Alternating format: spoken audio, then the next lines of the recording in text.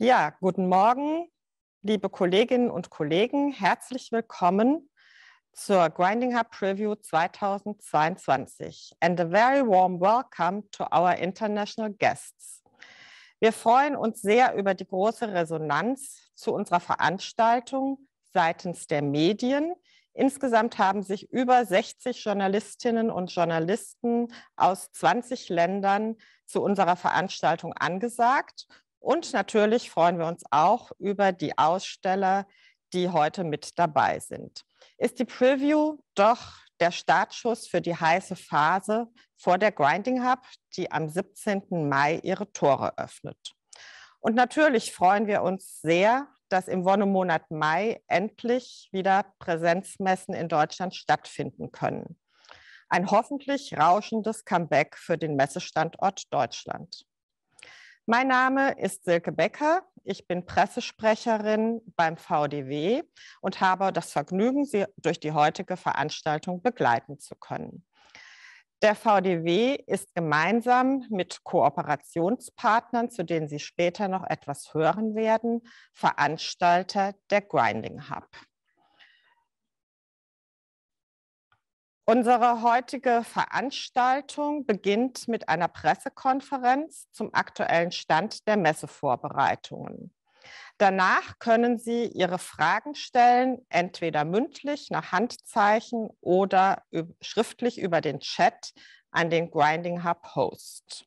Dazu werde ich später noch mal etwas genauer erklären. Nach dem Messekonzept gehen wir über zu den technischen Trends in der Schleiftechnik. Nach einer zweiten Fragerunde schließlich folgen die Elevator Pitches unserer Aussteller, die Ihnen ihre Highlights für die Messe vorstellen werden. Die gesamte Veranstaltung findet in Deutsch und in Englisch statt. Sie können in der Navigation am unteren Bildschirmrand die Sprache auswählen. Sie sind während der Präsentation stumm geschaltet und werden von unserer Technik in Wort und Bild online geschaltet, wenn Sie etwas sagen wollen. Nun aber zum ersten Programmpunkt. Ich darf Ihnen Ihre Gesprächspartner vorstellen. Begrüßen Sie mit mir Dr. Wilfried Schäfer, den Geschäftsführer des VDW, meinen Kollegen Martin Göbel, Leiter der Messeabteilung im VDW und Gunnar May, Direktor Messen und Events bei unserem Kooperationspartner der Messe Stuttgart. Ich übergebe gerne das Wort an Herrn Dr. Schäfer.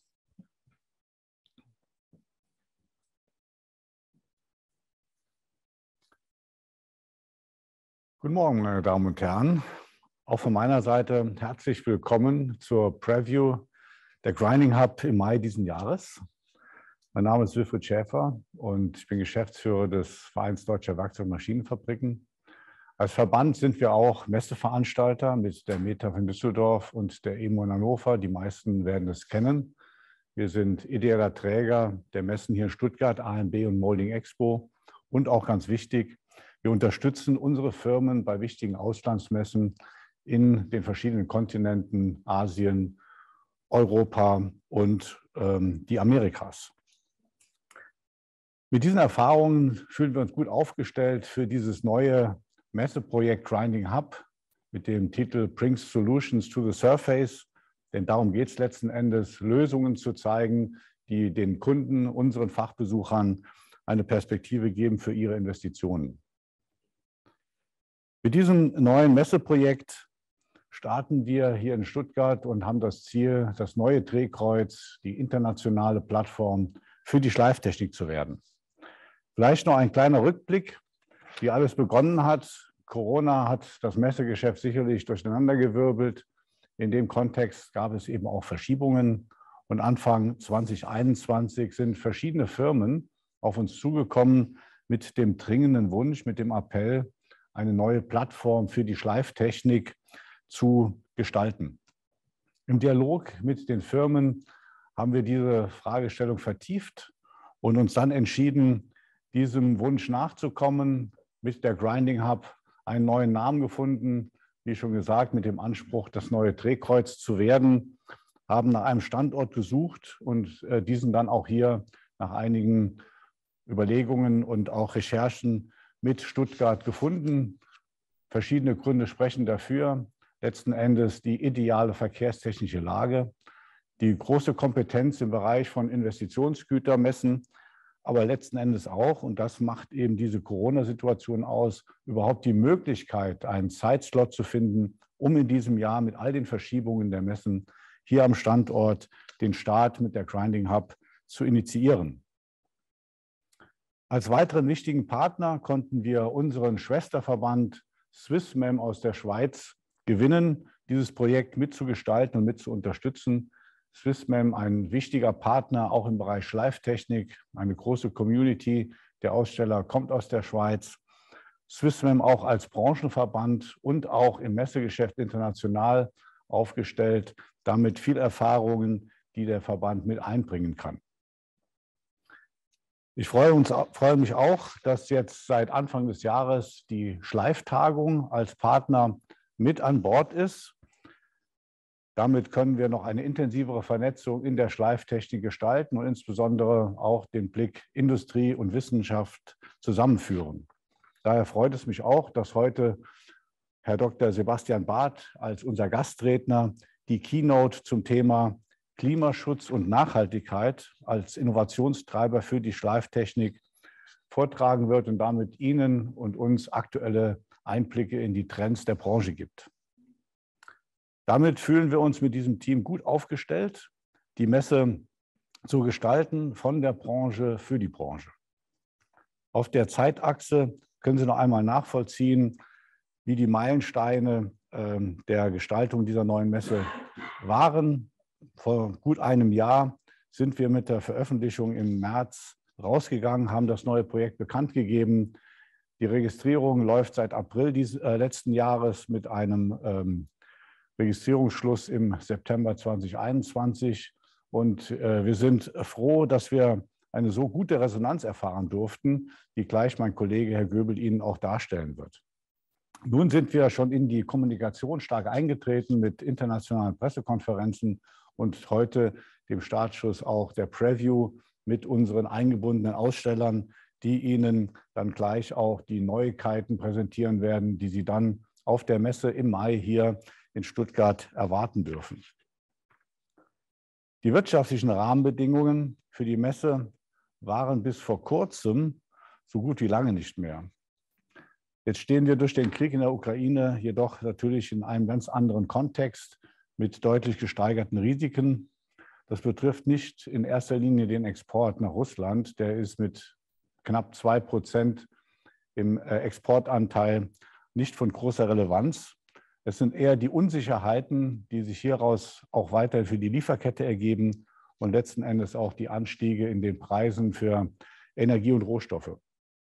Wie sich das auswirken wird, ist natürlich, Sie werden das selbst verfolgt haben in den Medien, sehr ungewiss. Ähm, wir hoffen, dass es bald hierzu eine friedliche Lösung gibt. 2021 verzeichnete die internationale Werkzeugmaschinenindustrie nach dem pandemiebedingten Einbruch ein Wachstum von 18 Prozent. Das entspricht nach unseren Schätzungen einer Gesamtweltproduktion von 69 Milliarden Euro. Schleiftechnik gehört zu den Top-Fertigungsverfahren innerhalb der Wertschöpfungskette der Werkzeugmaschinenindustrie. Sie kommt mit der Endbearbeitung zum Einsatz und muss hohe Anforderungen an die Oberflächengüten und die Genauigkeiten erfüllen. International ist sie eine kleine, aber feine Branche mit einem Anteil von 7,4 Prozent an der weltweiten Werkzeugmaschinenproduktion. Auch Sie sehen es hier in der Kette Produktion, kubische Elemente, rotationssymmetrische ähm, äh, Elemente mit Drehtechnik und dann letztendlich die Schleiftechnik. 2020 wurde weltweit Schleiftechnologie im Wert von 4,3 Millionen Euro produziert. Deutschland steht hinter China und vor Japan auf Platz zwei der größten Anbieter mit einem Anteil von rund einem Fünftel. Die größten Absatzmärkte weltweit sind China, die USA und Deutschland mit Anteilen von 33, 15 und 9 Prozent. Deutschland hat im vergangenen Jahr Schleiftechnik im Wert von 805 Millionen Euro produziert Nach vorläufigen Schätzungen und Berechnungen entspricht das einem Rückgang von 5 Prozent gegenüber 2020. Über vier Fünftel der Produktion gingen in den Export, der einen Rückgang von 8 Prozent verzeichnet hat. Einige wichtige Märkte sind noch nicht wieder im Wachstum begriffen. Sie sehen hier allen voran äh, der größte Markt China, aber auch Märkte wie in Europa Frankreich oder auch die Schweiz gut performt haben, neben USA, unserem zweitwichtigsten Markt, der sich auf Niveau gehalten hat, mehr oder weniger Italien mit Sonderabschreibungsmodellen oder auch Österreich mit ähnlichen äh, Abschreibungsmodellen.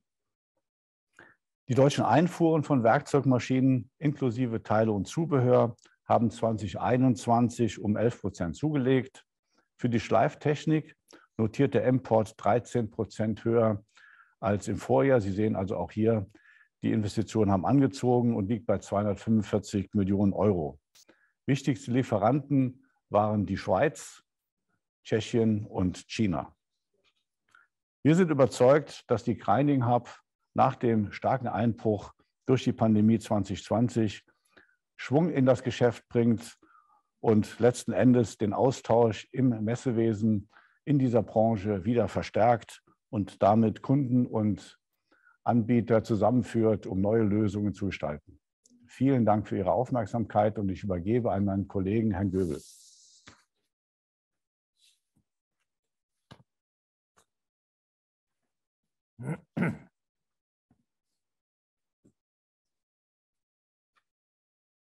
Ja, meine sehr verehrten Damen und Herren, auch von meiner Seite einen wunderschönen guten Morgen. Mein Name ist Martin Göbel und ich bin Leiter Messen im VDW. Ich möchte Ihnen gerne im Folgenden das Konzept der Grinding Hub vorstellen und was es so besonders macht. Zunächst jedoch will ich noch einmal unseren Anspruch untermauern, die Grinding Hub zum neuen Drehkreuz der Schleiftechnik zu machen.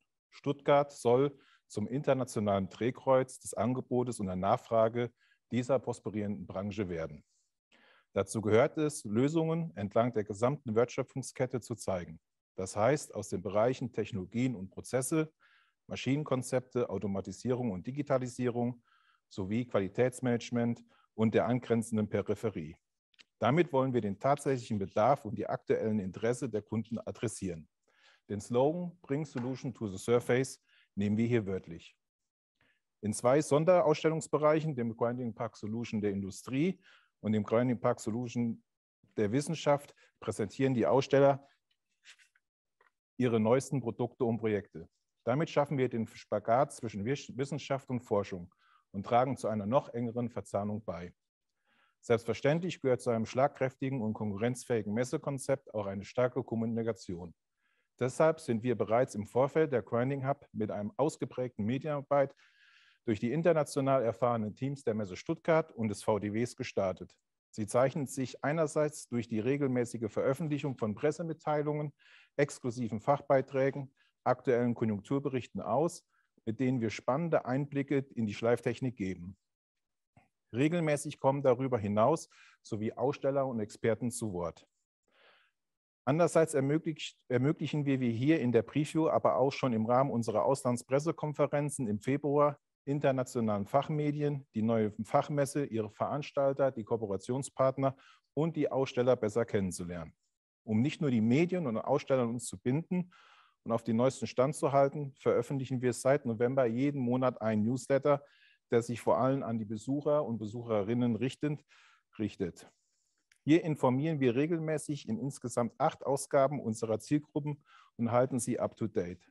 Zum Inhalt zählen vor allem Informationen über die Branchen, Techniktrends und die Messe. Wie bereits besprochen, wollen wir ein Messekonzept der Zukunft bieten.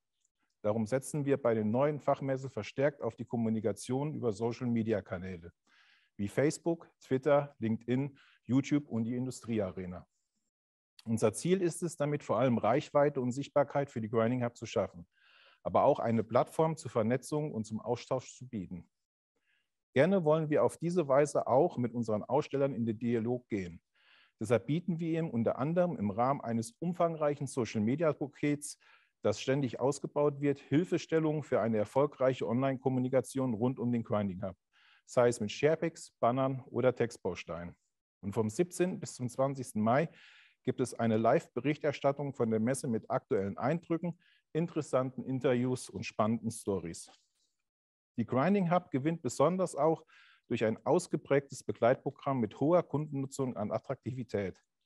Hierzu gehören die bereits gewähnten Gemeinschaftsstände Grinding Park Solution der Industrie und Grinding Park Solution der, der Wissenschaft mit ihren neuartig angewandten Produktionslösungen sowie Innovationen aus der Wissenschaft. Unterstützt wird das Ganze seitens der Forschung, vor allem durch die Mitglieder der Wissenschaftlichen Gesellschaft für Produktionstechnik, der WGP. Wie bereits eingangs erwähnt, kooperieren wir seit Anfang des Jahres auch mit der Schleiftagung, dem Werkzeugmaschinenlabor der RWTH Aachen. Da im Januar leider noch kein Treffen vor Ort im Fellbach bei Stuttgart möglich war, wird es das Wiedersehen der Schleiftarnung Community im Rahmen der Grinding Hub im Mai nachgeholt. Viele unserer Aussteller sind bereits in der Branche etablierte Größen. Doch wir möchten auch kleinen und jungen Unternehmen eine Plattform bieten. Hierfür schaffen wir mit der Startup Area die notwendige Voraussetzung. Der Gemeinschaftsstand bietet eine erstklassige Betreuung zu einem angemessenen Preis und lädt so auch innovative Firmen mit geringem Budget ein. Darüber hinaus legen wir einen Fokus auf die Digitalisierung in der Produktion. Aktuelle Entwicklungen, Trends werden hier zu sehen sein. Mit an Bord ist auch die bewährte Live-Demonstration zur weltweiten Datenkonnektivität. Hier bezogen natürlich auf die Schleiftechnik, die bereits auf der EMO Hannover 2019 und auf der EMO in Mailand 2021 sehr anschaulich funktioniert hat. Sie läuft unter der Marke Umati, der gemeinsamen Initiative von VDW und VDMA. Diverse Foren und Fachseminare runden das breite Angebot ab. In unseren Augen, und das hat uns spätestens jetzt die Pandemie gezeigt, führt kein Weg an digitalen Angeboten vorbei. Wir planen die Grinding Hub proaktiv mit hybriden Konzepten. Das bedeutet konkret, im Vorfeld der Messe werden wir mit Web-Sessions an den Start gehen. Dieses Format wurde bereits mehrfach erfolgreich durchgeführt. Ab dem 29. März, also direkt nach der Preview hier, äh, können Aussteller in 20-minütigen Vorträgen das Interesse ihrer Kunden wecken und einen Vorgeschmack geben auf das, was sie sechs Wochen später live und vor Ort in Stuttgart zu erleben gibt. Dies soll zum einen Kontakte binden und Leads generieren. Zum anderen soll aber mehr Sichtbarkeit geschaffen werden und die Reichweite international vergrößert werden. Auch während der Messelaufzeit bieten wir unseren Ausstellern eine Bühne. Das digitale Forum ermöglicht professionelle Aufnahmen von 20-minütigen Präsentationen vor, live vor Ort, die gestreamt werden. Es handelt sich um ein moderiertes Veranstaltungsformat. Ein weiteres Angebot wird das erstmalig testen, ist eine Videoproduktion für Aussteller. Bei einer Filmlänge von 60 bis 90 Sekunden und einer professionellen Aufbereitung ist die individuelle Umsetzung für einen Standrundgang, Produktvorstellungen oder auch Ausstellerstatements möglich. Und dank der virtuellen Erweiterung des Ausstellerprofils haben zudem eine digitalen Firmenprofile für jeden Aussteller auf der Grinding Hub Homepage im Angebot. Unternehmensinformationen, Kontaktdaten, Fotos, Videos, Firmennews und vieles mehr können hier veröffentlicht werden. Das rundet das Gesamtbild eines jeden Ausstellers ab, forciert die direkte Kontaktaufnahme durch Kunden im Vorfeld und aber auch danach. Die Messepräsenz und die zugehörigen Angebote werden so noch breiter kommuniziert und versprechen einen höheren Nutzen. Wir alle, wir sind davon überzeugt, dass die Grinding Hub zum neuen Drehkreuz der Schleiftechnik wird. Ab Mai ist Stuttgart alle zwei Jahre the place to be für die Branche. Dort und nur dort werden zukünftig Innovationen und aktuelle Lösungen präsentiert. Die Gründe hierfür liegen für uns auf der Hand. Die Messe ist klar fokussiert und international ausgerichtet. Dank einer fachlich starken Positionierung schaffen wir ein attraktives Angebot, das Veranstalter und Kooperationspartner bestmöglich organisiert umgesetzt haben. Dazu trägt auch unser modernes hybrides Messekonzept bei und dass auch in den ungeraden Jahren die Messe selbst nicht stattfindet, wie der Grinding Hub präsent sein. Meine Damen und Herren, wir hoffen natürlich zuallererst mit unseren inhaltlichen Argumenten zu überzeugen. Nichtsdestotrotz können sich aber auch unsere Zahlen vom Stand von 25. März 2022 mehr als sehen lassen. Insgesamt haben 362 Aussteller aus 23 Ländern für die Grinding Hub angemeldet. Sie decken 38 Branchensektoren rund um die Schleiftechnik ab und belegen mit 17.643 Quadratmeter Nettoausstellungsflächen die Hallen 7, 9 und 10. Zu den Top 5 Sektoren zählen Rund- und Umschleifmaschinen, Schleif-, Polier- und Hohnmittel, Werkzeugschleifmaschinen für Schneid- und Zersparenwerkzeuge, Entsorgung und Aufbereitung von Kühlschmierstoffen sowie Flachschleifmaschinen. 205 Aussteller kommen aus Deutschland, gefolgt von der Schweiz mit 56 Firmen und Italien mit 37 Herstellern. Auch aus Österreich, Frankreich, Japan und den USA sind Aussteller angemeldet. Dies zeigt, wie umfangreich und vielfältig die Grinding Hub aufgestellt ist. Wir denken das gesamte Spektrum der Schleiftechnik ab und konnten viele Aussteller für unser Konzept überzeugen, an der Premiere der neuen Fachmesse teilzunehmen. Von diesem Hintergrund sind wir sicher, dass auch für die Besucherinnen und Besucher die Grinding Hub ein echter Gewinn sein wird. Herzlichen Dank für Ihre Aufmerksamkeit und ich übergebe an Herrn May.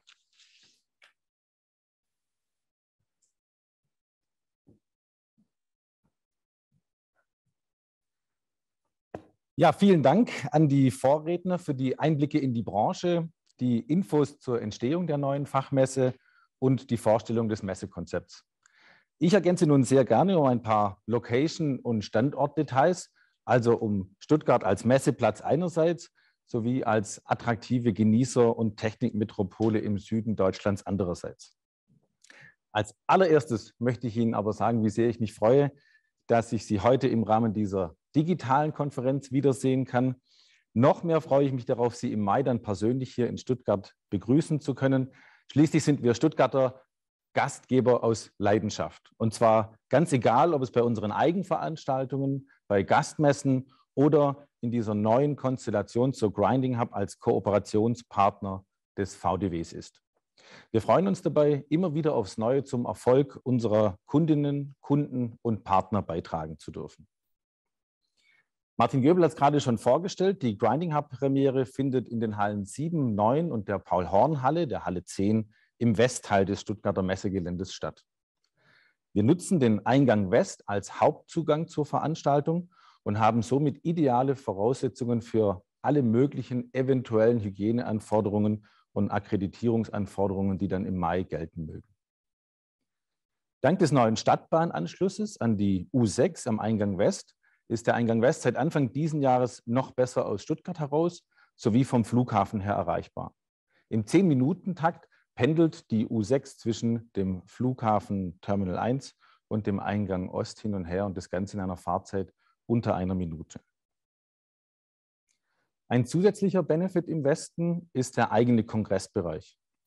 Im Obergeschoss des Eingang West bietet der Kongress West in flexibel gestaltbaren Tagungsräumen Platz für bis zu 700 Personen. Aus allen Räumen haben die Gäste Zugang zur Dachterrasse und von dort kann man dann den Blick über den Rothauspark und das Treiben zwischen den Grinding Hub Messehallen schweifen lassen. Parallel zur Grinding Hub finden übrigens noch weitere Fachmessen statt. Es sind Themen wie Tankstelle und Carwash, die Invest und Pflege Plus. Diese Veranstaltungen finden eigenständig statt und bringen thematisch äh, keine Synergien mit der Grinding Hub zwischen Besuchern oder Ausstellern. Wie viele von Ihnen bereits wissen, befindet sich das Gelände der Messe Stuttgart in unmittelbarer Nähe zum Flughafen Stuttgart. Zur neuen Stadtbahnhaltestelle, von wo die Messeteilnehmenden dann entspannt mit ihrem Messeticket per Bahn in den Westteil kommen, sind es gerade mal 150 Schritte. Der Fußweg vom Flughafen zum Eingang West beträgt ungefähr 15 Minuten. Ja, und dank des Business-Takts des Stuttgarter Flugplans können die Messegäste zur Grinding Hub bequem am Morgen anreisen und am Abend nach Messeschluss wieder zurück nach Hause fliegen. Durch die Lage zwischen Flughafen einerseits und Autobahn auf der anderen Seite schafft das Messegelände hier tatsächlich perfekte Bedingungen für die An- und Abreise. Direkte Anbindungen an die Autobahn A8, die Bundesstraße B27, den internationalen Flughafen, die S- und U-Bahn und den gesamten öffentlichen Personennahverkehr sorgen für angenehm kurze Wege. Auf der aktuellen Folie sehen Sie ein paar Beispielverbindungen nach Stuttgart mit der Deutschen Bahn oder mit dem eigenen Pkw. Übrigens sind bei der Grinding Hub im Ticket sowohl für Aussteller als auch für Besucher die Anreise und Abreise zur Messe bereits inkludiert. Einfach den Badge vorzeigen und dann können Sie alle Linien des öffentlichen Personennahverkehrs nutzen. Und wie gesagt, neben der Busverbindung und der S-Bahn ist seit Anfang des Jahres die verlängerte Linie U6 in Betrieb. Damit haben wir eine zweite Verbindung aus der Stuttgarter Innenstadt heraus über die Stadtteile Möhringen und Degerloch in 30 Minuten von der Stadtmitte raus zur Messe. Die S-Bahn, die am Flughafen endet, braucht für die Strecke 27 Minuten. Zum Abschluss vielleicht noch ein paar Sätze zur Stadt Stuttgart und dem Aufenthalt hier während der Grinding Hub.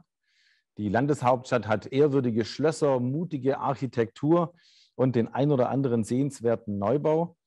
Von Automobilmuseum über Barockschloss bis zum ersten Fernsehturm der Welt in Stahlbeton gibt es hier für Sie und für die Messeteilnehmenden nach Messeschluss viel zu erleben und zu entdecken.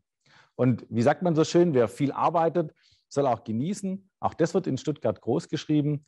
Neben exquisiter Sternegastronomie sorgt auch die bodenständige Traditionsküche für kulinarische Highlights. Egal ob Kässpätzle, Schupfnudeln oder Maultaschen, gibt es hier jede Menge Traditionsgerichte. Einen besonderen Stellenwert hat übrigens der Wein in Stuttgart. Bereits neben dem Hauptbahnhof treffen Reisende und Einwohner auf die ersten Weinberge. Also kurzum, Stuttgart bietet für jeden Geschmack das passende After-Work-Angebot. Überzeugen Sie sich davon im Mai. Als guter Gastgeber habe ich natürlich dann ein paar Tipps im Pressezentrum für Sie auf Lager. Ich bedanke mich für Ihre Aufmerksamkeit und übergebe nochmal an Herrn Dr. Schäfer vom VDW, der Ihnen noch was zur Besucherkampagne erzählt. Herzlichen Dank.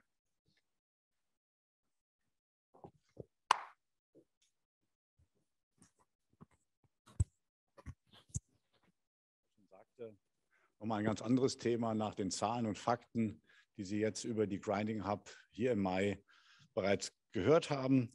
Ähm, wir haben uns was anderes mal überlegt, wie wir die Besucher auf dieses neue Messeprojekt aufmerksam machen möchten. Im Mittelpunkt steht UGO, the Unknown Grinding Object.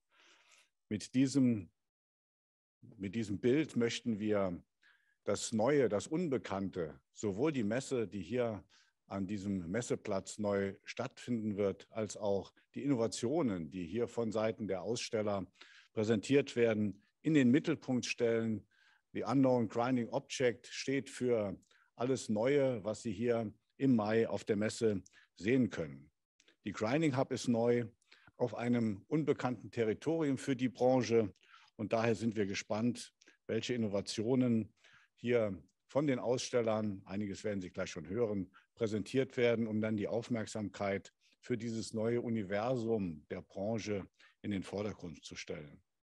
Wir haben uns dazu eine Bildwelt überlegt mit den Beispielen, die Sie hier sehen, äh, aus dem Umfeld der UFO-Bilder UFO mit entsprechenden Slogans. Und wir denken, dass das die Aufmerksamkeit sowohl in den sozialen Medien als auch im Print oder in der Plakatierung im Umfeld äh, des Messegeländes bringen wird und man gespannt ist, was hier auf dem Messegelände im Mai zu sehen sein wird. Das Ganze möchten wir natürlich noch verstärken.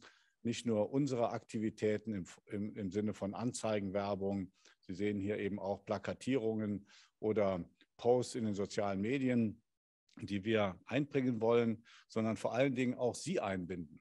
Die Medien, aber insbesondere auch die Aussteller, mit unserer Challenge Show Your Ugo, mit der Sie Ihre Innovation, das Außergewöhnliche, was Sie hierbei erkennen, was Sie hier einbringen wollen, was Sie im Mai hier präsentieren, in einem Post in den sozialen Medien äh, vorzustellen. Das kann ein kollagiertes Bild sein, das kann ein kurzes Video sein, das können Fotos sein, die Aufmerksamkeit erzeugen und damit den Besucher für diese Messe und für ihre Innovationen interessieren. Wir sind gespannt auf Ihren Input, den wir dann gerne weiter kommunizieren mit unseren Aktivitäten in den sozialen Medien. Am Ende möchte ich festhalten, dass wir mit der Grinding Hub einen neuen internationalen Treffpunkt für die Branche gestalten wollen, mit dem neuen modernen Messekonzept hier an einem verkehrstechnisch optimalen Standort sind wir überzeugt, dass die Branche eine neue Heimat findet und äh, ich freue mich darauf, Sie im Mai hier begrüßen zu dürfen. Damit gebe ich weiter an Frau Becker, die uns hier durch den Tag weiter führen wird. Vielen Dank.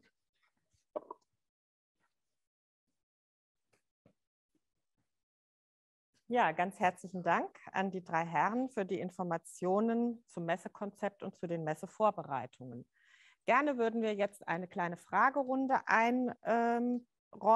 An dieser Stelle ähm, können Sie, wenn Sie Fragen haben, sich per Handzeichen melden. Sie werden dann von unserer Technik in Wort und Bild online geschaltet oder Sie schreiben in den Chat an unseren Grinding Hub Host.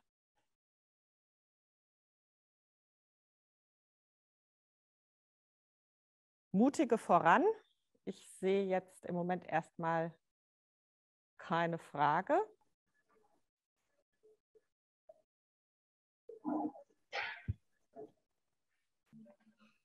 Wenn es keine Fragen aus dem Publikum im Moment gibt, dann würde ich gerne eine äh, stellen, äh, und zwar an Herrn May.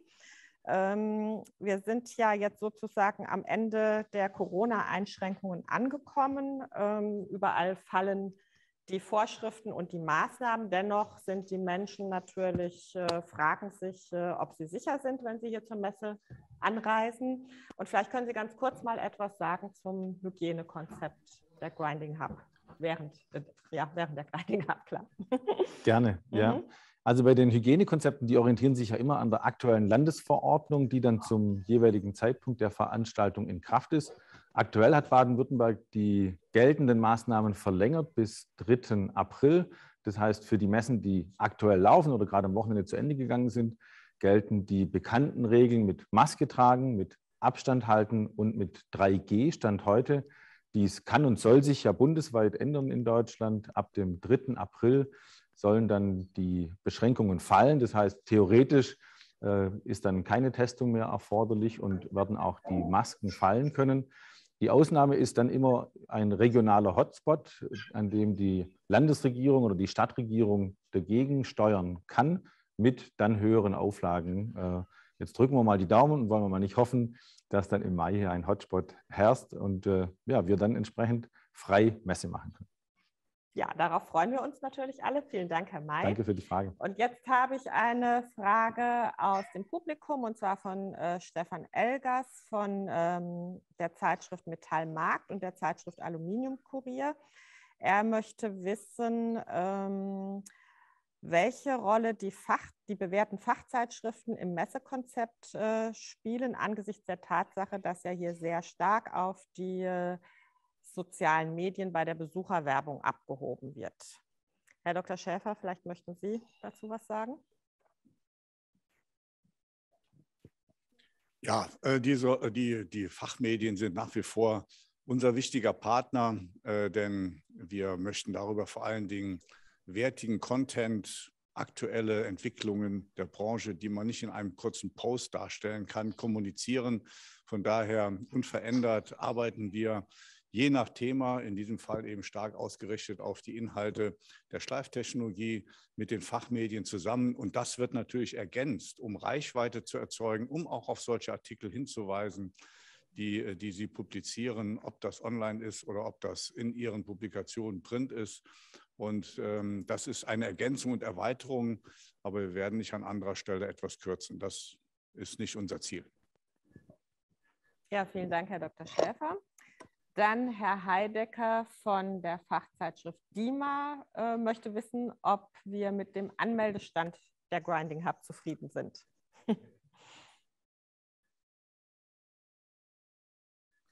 Ja, dann darf ich das doch mal kurz kommentieren. Ja, wir sind mit dem Anmeldestand sehr zufrieden, muss ich sagen. Mit, ähm, ich glaube, wir liegen schon bei 360 Ausstellern oder über 360 Ausstellern und auch vor allen Dingen mit allen Marktführern in den verschiedenen Produktbereichen, gerade im Bereich Maschine, im Bereich ähm, Schleiftechnologie, Werkzeuge und den ganzen Peripheriebereichen ist das ein vollständiges Bild der Branche und damit sind wir mit diesem äh, Konzept für den Erstaufschlag sehr zufrieden.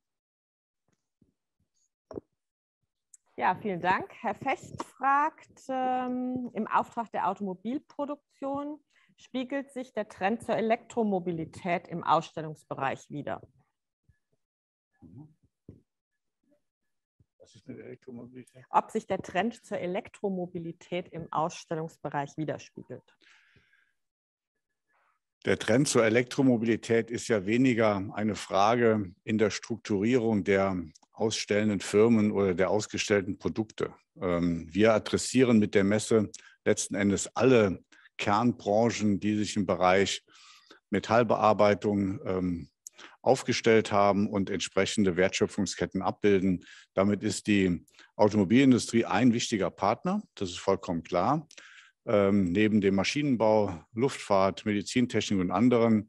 Aber es bildet sich in dem Sinne jetzt nicht äh, in der Konzeption auf Ausstellerseite da. Es wird sich sicherlich abbilden in der Nachfrage und der Struktur der Besucher, die wir dann im Mai begrüßen können.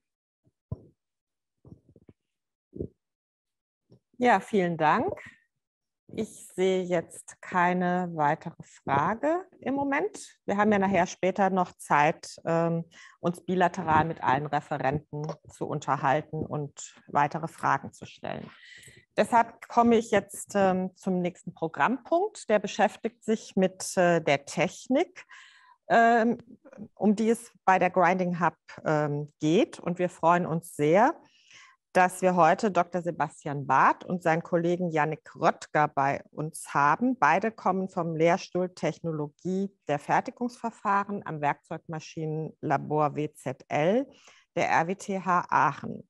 Sie sprechen über Klimaschutz und Nachhaltigkeit als Innovationstreiber für die Schleiftechnik, also ein sehr brandaktuelles Thema. Und ich übergebe gerne das Wort an die beiden Herren aus Aachen. Ja, Frau Becker, hören Sie mich?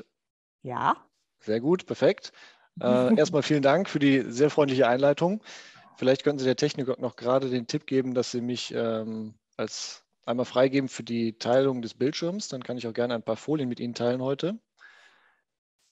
Generell, der Herr Röttger ist heute auch da, genau. Ich werde heute den Vortrag ähm, halten. Ähm, bei Fragen stehen wir, denke ich, sicherlich beide gleich zur Verfügung.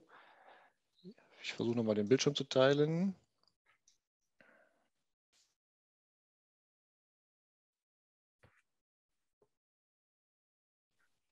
Ah, perfekt, sehr gut. So, ich hoffe, Sie können jetzt auch meinen ja. Bildschirm sehen mit der Titelfolie. Wir sehen es. Perfekt, super. Dann ja, ich freue mich heute sehr, dabei sein zu dürfen, einen äh, Anstoß für die Schleiftechnik heute geben zu dürfen, äh, ein paar Impulse aus unserer Schleiftagung aus dem Januar mitzubringen und Ihnen näher zu bringen, wie genau der Klimaschutz und Nachhaltigkeit denn Innovationen in der Schleiftechnik äh, aktuell treiben und treiben werden zukünftig, ähm, was für Herausforderungen diesbezüglich äh, resultieren äh, und wie wir, ähm, da, ja, wie wir auf diese Herausforderungen äh, reagieren können. Wenn wir uns Klimaschutz und die dazugehörigen Maßnahmen anschauen in den vergangenen Jahren und auch dahingehend, wie sie sich entwickeln werden, dann gibt es einige maßgebliche Daten, Kyoto 1997, Paris 2015 oder Glasgow 2021, in denen viele Regelungen ähm, und ja, Bedingungen gestellt worden sind, damit wir uns als Menschheit zukünftig äh, nachhaltiger aufstellen können. Nachhaltigkeit wird in dem Sinne dann oftmals als ökologische Nachhaltigkeit verstanden. An der Stelle muss man wissen, dass, das, dass die Begrifflichkeit Nachhaltigkeit äh, dreigeteilt ist. Und zwar nachhaltig handelt man dann, wenn es ökologisch äh, nachhaltig ist, ökonomisch nachhaltig, aber auch sozial nachhaltig. Das heißt, man muss eigentlich immer alle drei Komponenten im Blick halten. Die Diskussion wird heutzutage oftmals dahingehend geführt, dass man eher die ökologische Sichtweise im Auge hat, weil sie halt eine sehr, sehr drängende eine sehr, sehr drängende Pro Problematik darstellt. Zusätzlich dazu ist es so, dass wir ähm, auch in der jüngsten Vergangenheit leider sehr verstärkt merken, dass es zu Lieferengpässen kommt, dass Rohstoffpreise äh, explodieren. Das sind einfach äußere Einflüsse, auf die man als Unternehmen keinen direkten Einfluss hat. Äh, 89 Prozent der Unternehmen im deutschen Maschinenbau äh, leiden aktuell aber sehr an dieser Knappheit, äh, vor allem an der Knappheit von Vorprodukten. Und auch das äh, ist etwas, was man äh, sicherlich sehr im Auge behalten muss. Zusätzlich dazu ist es so, äh, auch in Deutschland, dass nach dem DIHK der Fachkräftemangel nach der Pandemie anscheinend sogar größer oder größer scheint als vor der Pandemie. Die aktuelle Vakanzzeit von unbesetzten Arbeitsstellen beträgt durchschnittlich 179 Tage momentan. Was Sie an der Stelle vielleicht mitnehmen können, ist, dass ja die politischen und gesamtgesellschaftlichen Rahmenbedingungen ändern sich zunehmend und äh, auf die muss man auch in der Schleiftechnik äh, zukünftig reagieren. können. Und wenn man, ja, oder sagen wir so, als wäre das noch nicht genug, schaut man mal auf die Energiepreise, dann sieht man, dass die Preise, wenn man einen Durchschnitt nimmt von, 19, äh, von 2017 bis 2020, äh, bis heute, dass die Energiepreise sich, wenn man es mal grob überschlägt, um 44 Prozent ungefähr äh, erhöht haben. Und da weiß man ja in der aktuellen politischen Situation auch nicht, wo es weiterhin hingeht.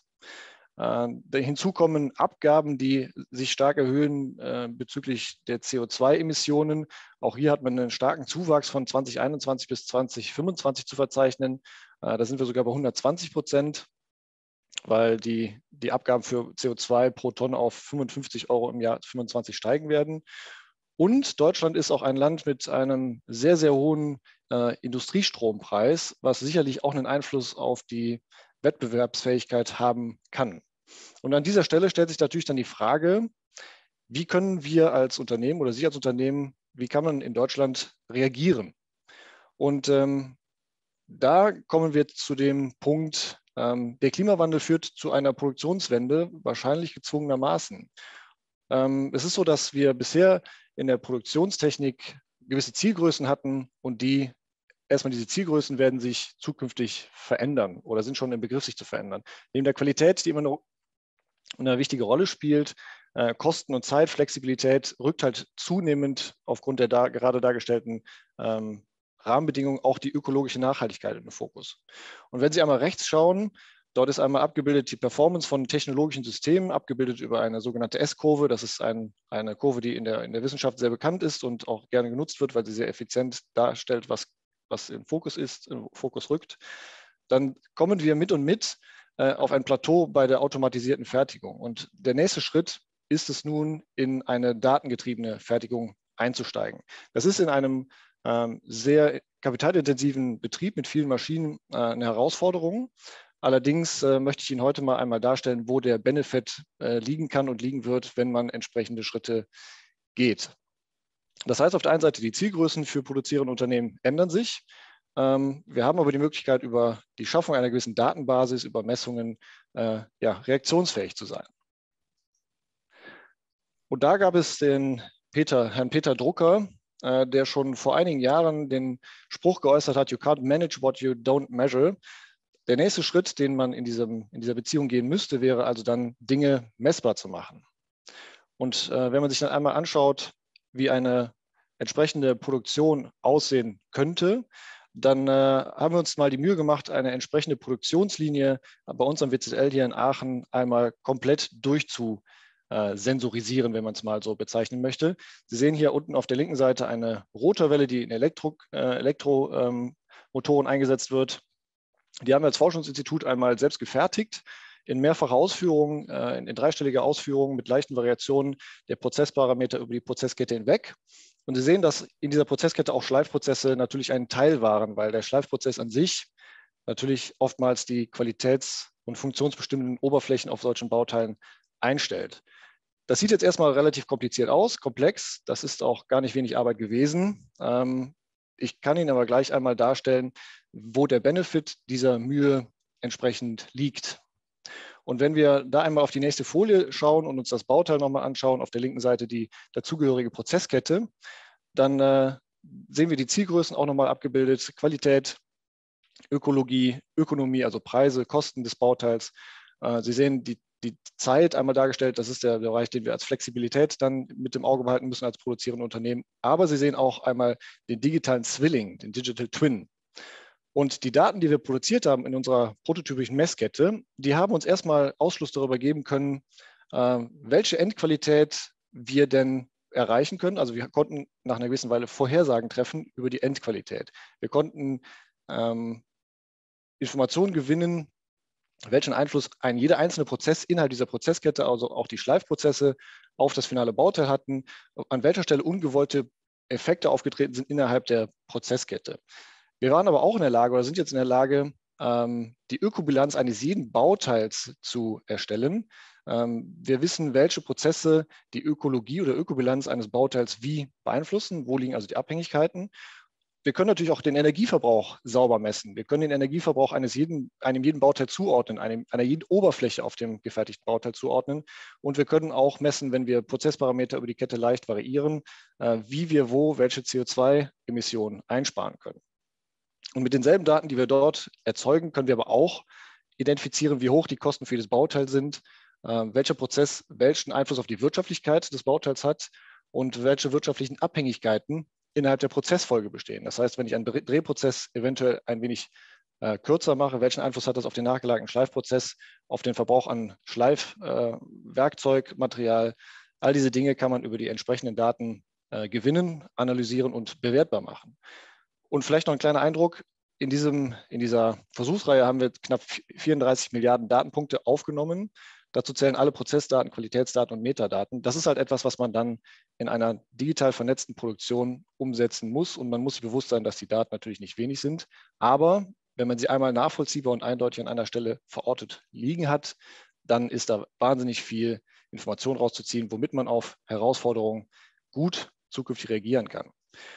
Ein Beispiel habe ich noch mitgebracht. Wenn Sie diese Welle, die gefertigte Welle sich anschauen und die einzelnen äh, Fertigungsschritte, dann sieht man, dass, äh, wenn man das anteilige Zerspannungsvolumen gegenüberstellt zu dem anteiligen CO2-Äquivalent, das man erzeugt bei der Fertigung, dass äh, in den Schleifprozessen, die wir angewendet haben, wenig Material zerspart worden ist. Das ist ja beim Schleifen häufig so. Allerdings das zugehörige CO2-Äquivalent dann doch relativ hoch war.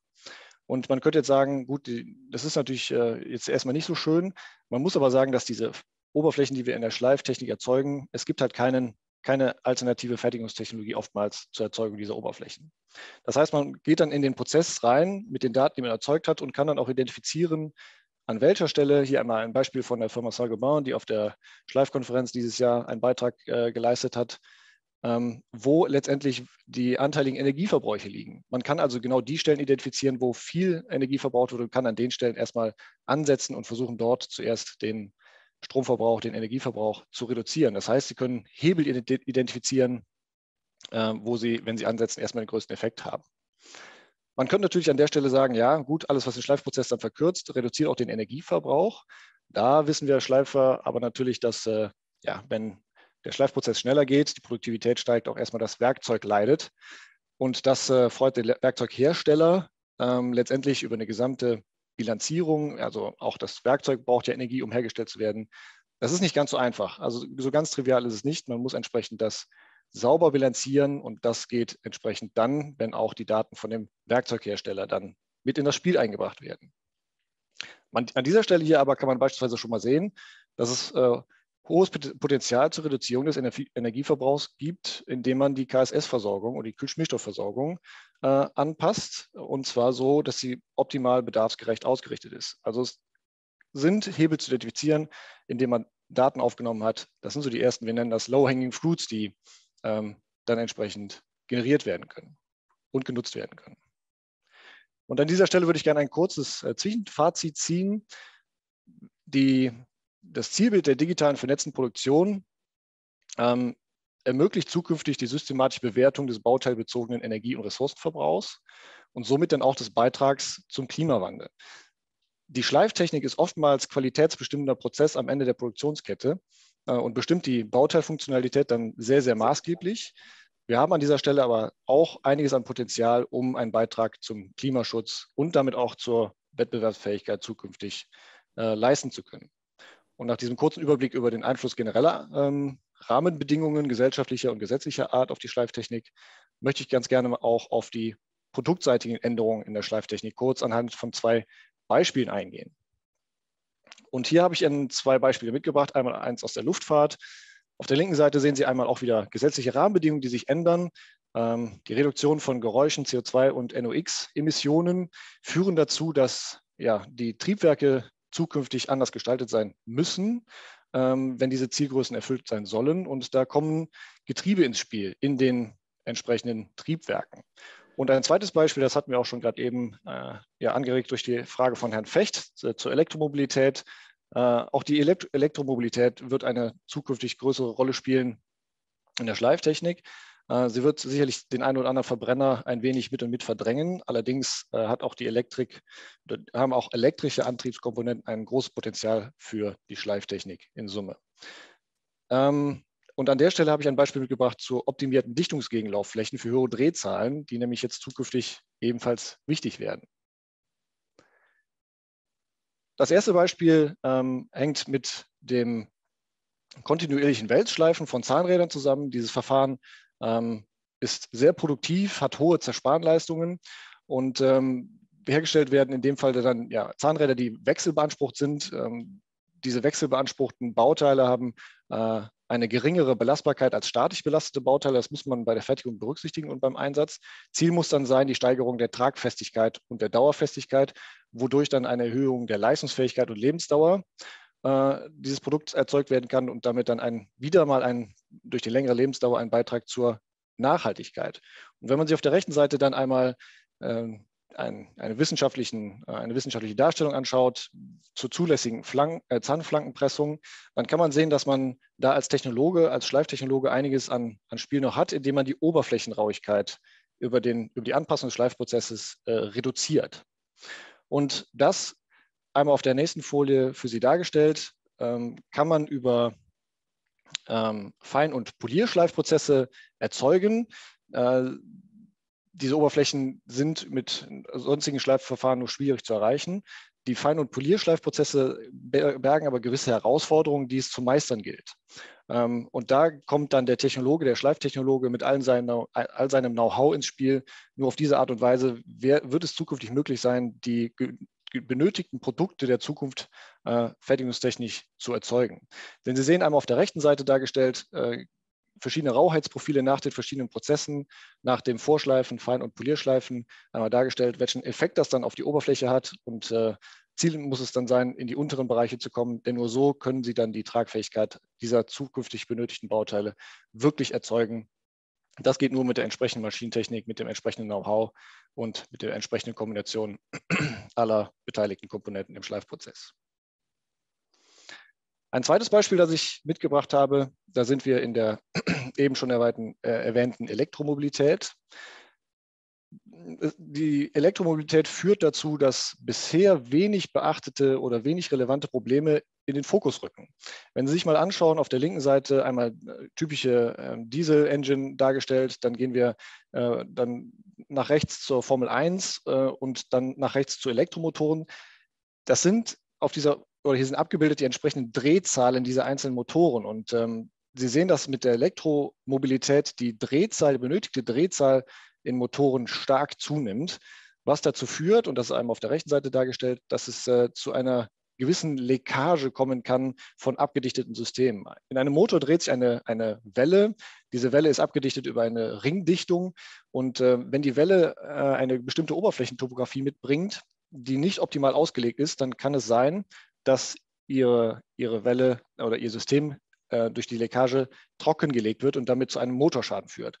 Und Sie sehen das einmal unten rechts schön dargestellt mit zunehmender Drehzahl äh, steigt der Förderwert einer, einer Oberfläche, wenn sie schlecht ausgelegt ist. Das heißt, je schneller Ihre Welle im E-Motor dreht, desto eher wird es passieren, dass Ihr Schmiermittel äh, aus dem System ausgetragen wird und damit trocken läuft und damit der Motor hin ist. Und ja, dieses, dieses Problem war bisher halt einfach wenig im Fokus, weil es einfach nicht nötig war, das zu betrachten.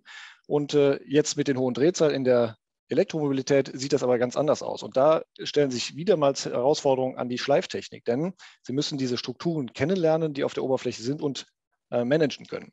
Wenn man sich diese Strukturen mit einem entsprechenden Messgerät, mit einem Laserscanning-Mikroskop einmal anschaut, dann sehen Sie auf der linken Seite die schönen Schleifriefen. Ähm, diese Schleifriefen kann man über entsprechende Software identifizieren, kann man ähm, die Orientierung dieser, dieser Schleifriefen kann man dann auch bewertbar machen. Und Sie sehen dann unten einmal dargestellt in einer schönen äh, gleichseitigen Verteilung, wie es eigentlich optimal aussehen sollte. Wenn die Schleifriefen sich aber in eine Richtung links oder rechts orientieren, dann führt das dazu, dass bei der Erhöhung der Drehzahl es zu dieser äh, gerade erwähnten Leckage kommen kann. Und dazu führen wir aktuell Untersuchungen durch, äh, im Besonderen Herr, Herr Röttger, der auch heute da ist, der sich halt angeschaut hat, welchen Einfluss das, der Abbrichprozess im Schleifprozess auf diese Oberflächenstrukturen von Wellen in den Elektromotoren hat. Und äh, wir versuchen zu identifizieren, wie genau ähm, die Schleifprozesse der Zukunft ausgelegt werden müssen, damit es eben nicht zu dieser Leckage kommt, damit wir auch die hochdrehenden äh, Dreh oder die hohen Drehzahlen in Elektromotoren zukünftig für uns nutzbar machen können. Und da kommt der Schleiftechnik eine große und bedeutende Rolle zu, sich genau das nämlich im Detail anzuschauen, die Maschinentechnik, die Abbrichprozesse und die entsprechenden Werkzeuge dafür herstellen zu können. Und an der Stelle vielleicht mal nochmal ein kurzes Fazit, nachdem wir eben ähm, gehört hatten, dass Transparenz der Energie- und Ressourcenverbräuche zukünftig eine große Rolle spielen wird, müssen wir zukünftig Kenntnis über die Korrelation zwischen Bauteileigenschaften, den neuen Bauteilen, der neuen Bauteile haben und deren Funktionsverhalten. Und da hatten wir gesehen an zwei klar, kurzen Beispielen für heute, äh, welche Rolle die Reduzierung der Oberflächenrauheit durchs Schleifen oder die mikrodrallfreie Dichtungsgegenlaufflächenbearbeitung äh, haben können. Das heißt, die Ursache-Wirkungszusammenhänge im Schleifen bleiben zukünftig auch eine wichtige Größe, um Schleifprozesse auslegen zu können. Ja, und äh, Sie sehen, dass die, die bisher kurz dargestellten Entwicklungen zeigen, es wird zunehmend darum gehen, eine wachsende Anzahl von Einflüssen im, in der Schleiftechnik, in der, in der äh, Schleiftechnologie zu orchestrieren. Und äh, Ähnliches sagte dann ähm, auch zu Beginn des Jahrhunderts bereits äh, Stephen Hawkins. Ich denke, die meisten von Ihnen kennen ihn. Er sagte, I think the next century will be the century of, of complexity. Ähm, Komplexität wird eine zunehmend große Rolle in den Fertigungs- und damit auch in der Schleiftechnologie spielen. Und wenn wir uns einmal an der Stelle anschauen, ähm, die Schleiftechnologie mit ihren, nenne ich es mal, üblichen äh, verdächtigen Komponenten in der Mitte. Sie sehen die vier Zielgrößen, die zu Beginn des, meines Vortrags schon einmal aufgelegt worden sind. Die gilt es zukünftig über, übereinzubringen, und zwar mehr denn je. Das sieht im ersten Moment erstmal nicht komplex aus, aber Sie sehen das schon in der Überschrift, wer beherrscht die Komplexität in funktions- und verbrauchsoptimierten Prozessen? Wenn man sich nämlich die einzelnen Komponenten in, im Detail anschaut, dann sieht man, was alles hinter der Maschine steckt. Sie müssen eine, eine Maschine energieeffizient auslegen. Sie müssen das Know-how über die Maschine an sich natürlich haben. Datenerfassung spielt zukünftig eine Rolle. Und wie kann man Prozesse in der Maschine optimieren, indem man künstliche Intelligenz mit einfließen lässt? Wenn Sie sich das Werkzeug im Detail anschauen, auch da gibt es viele Innovationen. Sie müssen aber auch als Werkzeughersteller zukünftig darauf achten, wie Sie Ressourcen schonen können. Ähm, wie reagieren Sie auf ähm, Ressourcenknappheit und wie können Sie bei all diesen Herausforderungen gleichzeitig noch äh, garantieren, dass Ihr Werkzeug zukünftig länger hält? Das gleiche bei den Abbrichtwerkzeugen. Auch hier gibt es stetig Neuerungen, die, die sind auch gut und Sie haben gesehen, welche Rolle Abbrichtprozesse in der Elektromobilität Mobilität beispielsweise spielen können. Wie automatisiert man Abbrichtprozesse dahingehend, dass man Werkzeugverschleiß zukünftig möglichst gering hält? Wie können Sie den Verschleiß Ihres Werkzeugs und Ihres Abrichtwerkzeugs zukünftig automatisiert messen. Die Kühlschmierstoffe, auch ein sehr großes Feld, hatten wir heute auch schon gesehen, habe ich Ihnen kurz präsentiert, welchen Einfluss die Kühlung des Prozesses und mit der gesamten daran hängenden Peripherie spielen kann, um Energie einzusparen. Ähm, welche Möglichkeiten gibt es zukünftig, wenn man von ölbasierten, also fossilbasierten Rohstoffen weg möchte, diese Rohstoffe zu ersetzen durch nachhaltig und wiederverwertbare biobasierte Kühlschmierstoffe? Und welche Rolle spielt die Kühlschmierstoffzufuhr zukünftig? Auch das hatte ich eben kurz angerissen. Da liegt wahnsinnig viel Potenzial, um Schleifprozesse zukünftig nachhaltiger, ökologisch nachhaltiger zu machen und damit auch ökonomisch für sich selbst als Unternehmer und Unternehmen etwas rauszuziehen. Dann zusätzlich natürlich das generelle Wissen über neue Entwicklungen in der Schleiftechnologie, wo ich heute äh, natürlich gerne meinen Beitrag äh, leiste. Auch an der Stelle eine sehr wichtige Komponente, die zukünftig auf uns alle zukommen wird, ist das äh, der, der, Teil des Human-Machine Teaming. Also wie können moderne Maschinen mit beispielsweise auch eingebetteter künstlicher Intelligenz zusammen mit unseren Mitarbeitern, mit unseren Kollegen ähm, zusammenarbeiten. Das ist ein ganz bewusst äh, von gewähltes, äh, eine ganz bewusst gewählt, gewählte Begrifflichkeit des Teaming. An der Stelle ähm, muss man sehr darauf achten, dass die einzelnen äh, Beteiligten möglichst eng und vertraut zusammenarbeiten. Wissenstransfer, ganz wichtig. Wie können wir das garantieren? Wie können wir garantieren, dass die junge Generation das wahnsinnig äh, tiefgehende Wissen unserer langjährigen Mitarbeiter äh, mitnehmen können? Auch das ist echt eine Herausforderung und das gilt es auch in der Schleiftechnik zukünftig zu managen. Und nichts, ja, nicht zum Schluss. Das Material, das wir verarbeiten, auch da kommen gewisse Herausforderungen auf uns zu. Ähm, wir haben sicherlich mit Qualitätsschwankungen zu, zu arbeiten, wenn wir an das Material kommen, also wenn es nicht zu Engpässen kommt. Ähm, dann wird es auch so sein, dass zunehmend schwer zersparenbare Werkstoffe eine Rolle spielen. Auch das ist immer wieder eine Herausforderung. Für uns als Wissenschaftler natürlich wahnsinnig spannend. Ähm, aber an der Stelle muss man auch einfach genau wissen, wie man an solche Sachen rangeht. Und ich denke, die Flexibilität wird eine Rolle spielen, weil einfach ähm, auch dadurch, dass beispielsweise die Elektromobilität ein Einzug findet, dass die ähm, Batch-Größen einfach kleiner werden und damit entsprechend wir flexibler als Schleiftechnologen reagieren müssen. Und wenn ich dieses hochkomplexe System, das ich Ihnen gerade auf der Folie einmal versucht habe darzustellen, versuche auf die drei Beispiele, Anwendungsfälle, die ich heute mitgebracht habe, einmal zu beziehen, also auf die Reduzierung des Stromverbrauchs in der Fertigung, auf tribologisch optimierte Dichtungsgegenlaufflächen oder die Erhöhung der, der Tragfähigkeit von Zahnrädern, dann wird es so sein, dass man dieses hochkomplexe System für jeden dieser drei Anwendungsfälle im Detail äh, sich genau anschauen muss und entsprechend darauf ausrichten muss. Denn nur dann sind sie in der Lage, Funktionalität äh, ressourcenschonender Systeme zu erzeugen, die Bauteillebensdauer zu erhöhen, äh, die Leistungsdichte technischer Komponenten zu erhöhen, was dann letztendlich dazu führt, dass sie in, in, als Gesamtgesellschaft einen, den Energieverbrauch reduzieren, den Ressourcenverbrauch aber auch reduzieren äh, und dann auch beispielsweise das Bauteilgewicht reduzieren können. Und das führt dann in Summe dazu, dass ja, der CO2-Fußabdruck ihrer Komponenten oder des Gesamtbauteils in seinem Lebenszyklus ähm, fällt. Und das wiederum führt dazu, dass Wettbewerbsfähigkeit aller beteiligten Unternehmen steigt. Denn äh, jeder Beitrag zur Nachhaltigkeit wird mittelfristig zu einer Verbesserung der Wettbewerbsfähigkeit führen. Also wenn Sie heute anfangen, äh, Investitionen zu tätigen, um einzelne Dinge äh, nachhaltiger zu gestalten, sozial, ökonomisch oder ökologisch, wird sich das mittel- und langfristig für Sie und Ihr Unternehmen sicherlich sehr, sehr auszahlen, weil es einfach die Wettbewerbsfähigkeit mit den steigenden Anforderungen aus gesetzlicher Seite äh, verbessert. Und an der Stelle das Ganze dann managebar zu machen, äh, ist eine Herausforderung. Und da ähm, möchte ich an der Stelle einfach eine kleine Anregung mitgeben.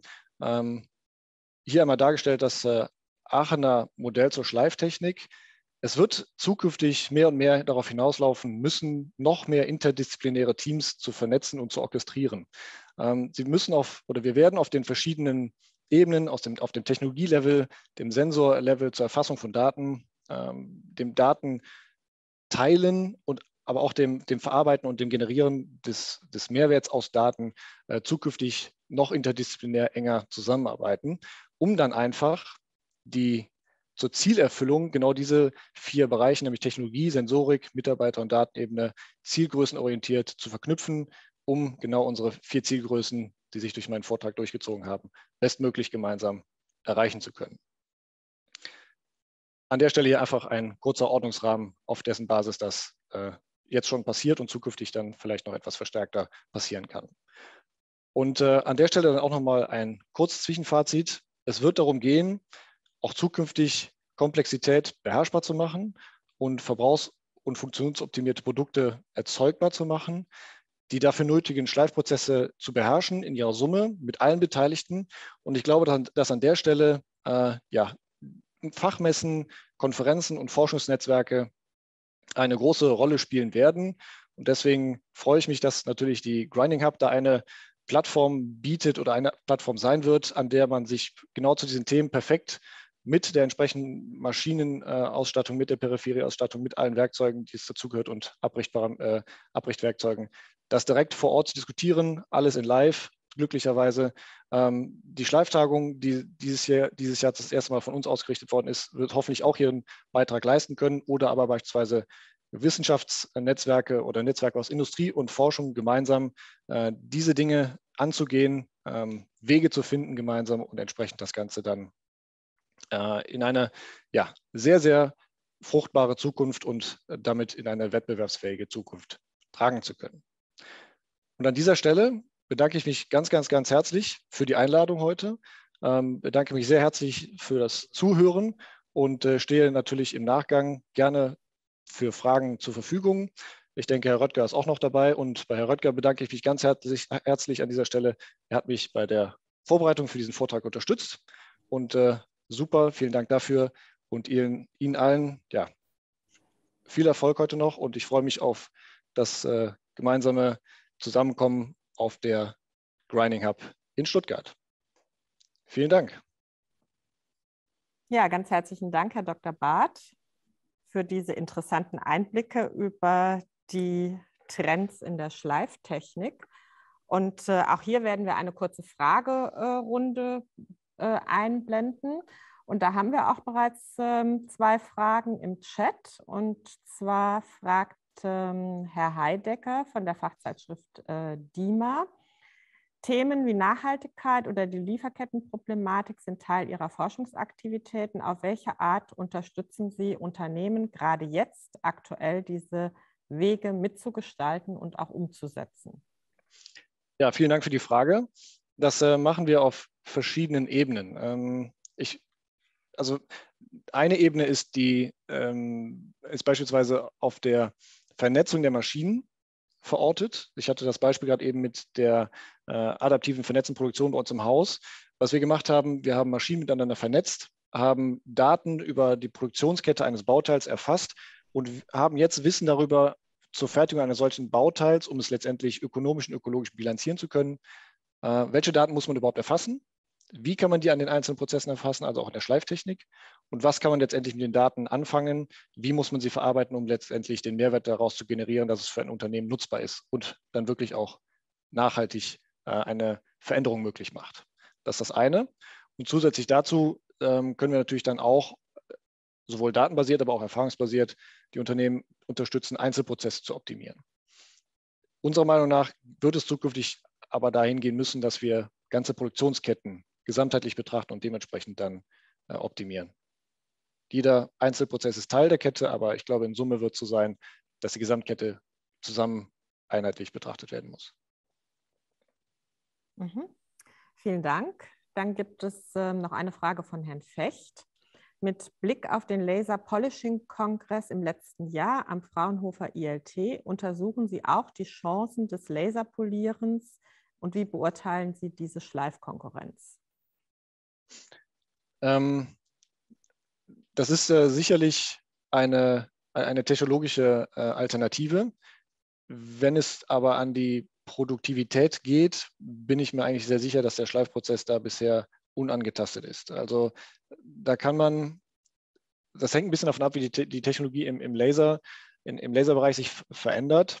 Momentan würde ich sagen, dass es äh, eine, Technologi eine technologische Alternative ist, aber bisher keine industrielle. Mhm, vielen Dank. Gerne. Auch Sie stehen nachher noch in den sogenannten Break, äh, Breakout Rooms zur Verfügung für weitere Fragen, die vielleicht bilateral dann noch äh, entstehen. Jetzt muss ich aber noch mal einen Schritt zurückgehen, ähm, weil Herr Raimon Castalis aus Spanien noch zum vorhergehenden Programmpunkt fragt, ähm, ob die Grinding Hub, Hub ähm, eine Konkurrenz zur AMB äh, sein wird oder komplementär zur AMB stattfinden wird. Da ist, glaube ich, Herr May gefragt. Mhm. Andere Seite, Herr May. Mhm.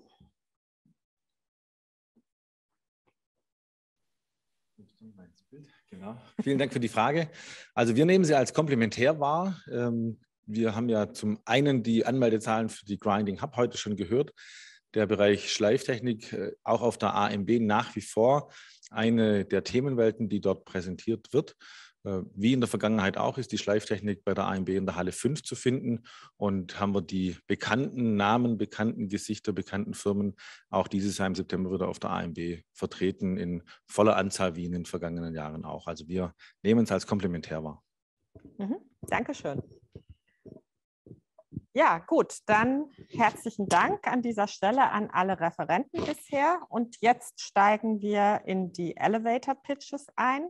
Wir freuen uns sehr, dass 16 Aussteller der Grinding Hub unserer Einladung gefolgt sind und heute in kurzen, jeweils dreiminütigen Pitches ihre Highlights für die Messe vorstellen werden.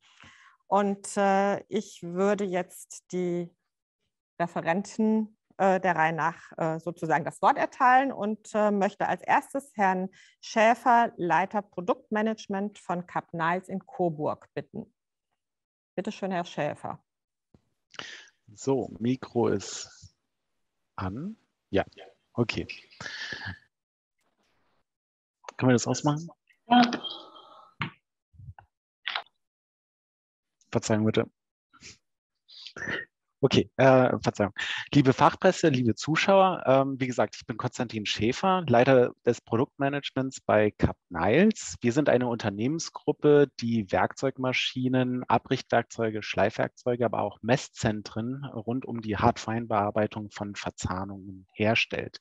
Wie Herr Barth schon auf, ausgeführt hat, gibt es sehr viele Technologien und Know-how, ähm, äh, beziehungsweise Herausforderungen, die äh, gelöst werden müssen. Und wir bieten unseren Kunden im Grunde das Spektrum, um diese Herausforderungen zu begegnen. Wie wollen wir das dann auf der Messe zeigen? Ähm, ähnlich wie halt jetzt auch das äh, Thema der Messe ist, Bring Solutions to the Surface. Genau so haben wir dann auch unseren Messestand aufgebaut, indem wir dann sechs exemplarische Werkstücke aus Schlüssel, äh, Schlüsselbranchen ähm, zeigen. Und anhand dieser Werkstücke zeigen wir die Herausforderungen der jeweiligen Branche und wie man sie sozusagen beantworten kann und mit welchen Werkzeugen wir unseren Kunden äh, befähigen, äh, diesen ja, Herausforderungen zu begegnen. Äh, diese Beispiele sind aus der Automobilindustrie. Da hatten wir schon E-Getriebe erwähnt. Wir hatten schon Luftfahrtindustrie erwähnt. Das, äh, da hatte Herr Barth ausgeführt, dass da ähm, neue Getriebe eingebaut werden, beziehungsweise die gesamte äh, Turbinentechnik neu aufgesetzt wird. Äh, wir werden auch Beispiele aus der Windkraft, äh, Windkraft aus der Kompressorentechnik äh, bieten und auch aus der Robotik sozusagen. Beispielsweise bei den E-Getrieben, äh, da wurde schon erwähnt, äh, dass wir hohe Drehzahlen haben. Also ein Verbrenner hat sozusagen 2500 bis 8000 Umdrehungen pro Minute, während da Elektrogetriebe fünf bis 20 Mal schneller drehen. Und das erzeugt dann ein neues Geräuschverhalten, äh, das es dann zu unterdrücken gilt. Und äh, da braucht man eine Reihe an Technologien und Know-how, um diese dann zu, um diesen Sachen zu begegnen. Ähnlich dann auch bei der Luftfahrtindustrie, wo im Grunde mit diesen neuartigen Planetengetrieben, die eingebaut werden, neue Anforderungen entstehen.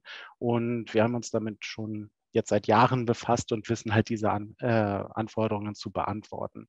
Auch bei der Windkraft, äh, jetzt haben wir es gesehen, wir wollen jetzt wieder mehr, mehr Windenergie ausbauen, weil wir uns unabhängig machen wollen von der Energie, äh, äh beziehungsweise Energie aus Russland. Ähm, da werden jetzt im Grunde neue Offshore-Parks aufgebaut und diese Parks äh, werden größer und größer werden und auch die äh, Bau Bauteile dazu werden größer und größer werden.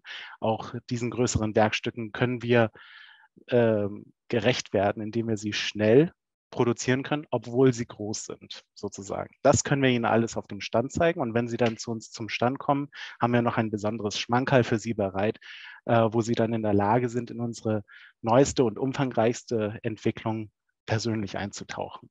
Vielen, vielen Dank.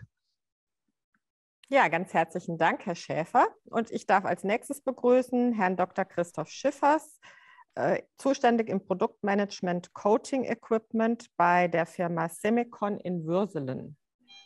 Ja, herzlichen Dank, herzlichen Dank für die Einführung. Herzlich willkommen bei Semicon. Äh, danke an die Macher der Grinding Hub und des VDWs für diese Einladung.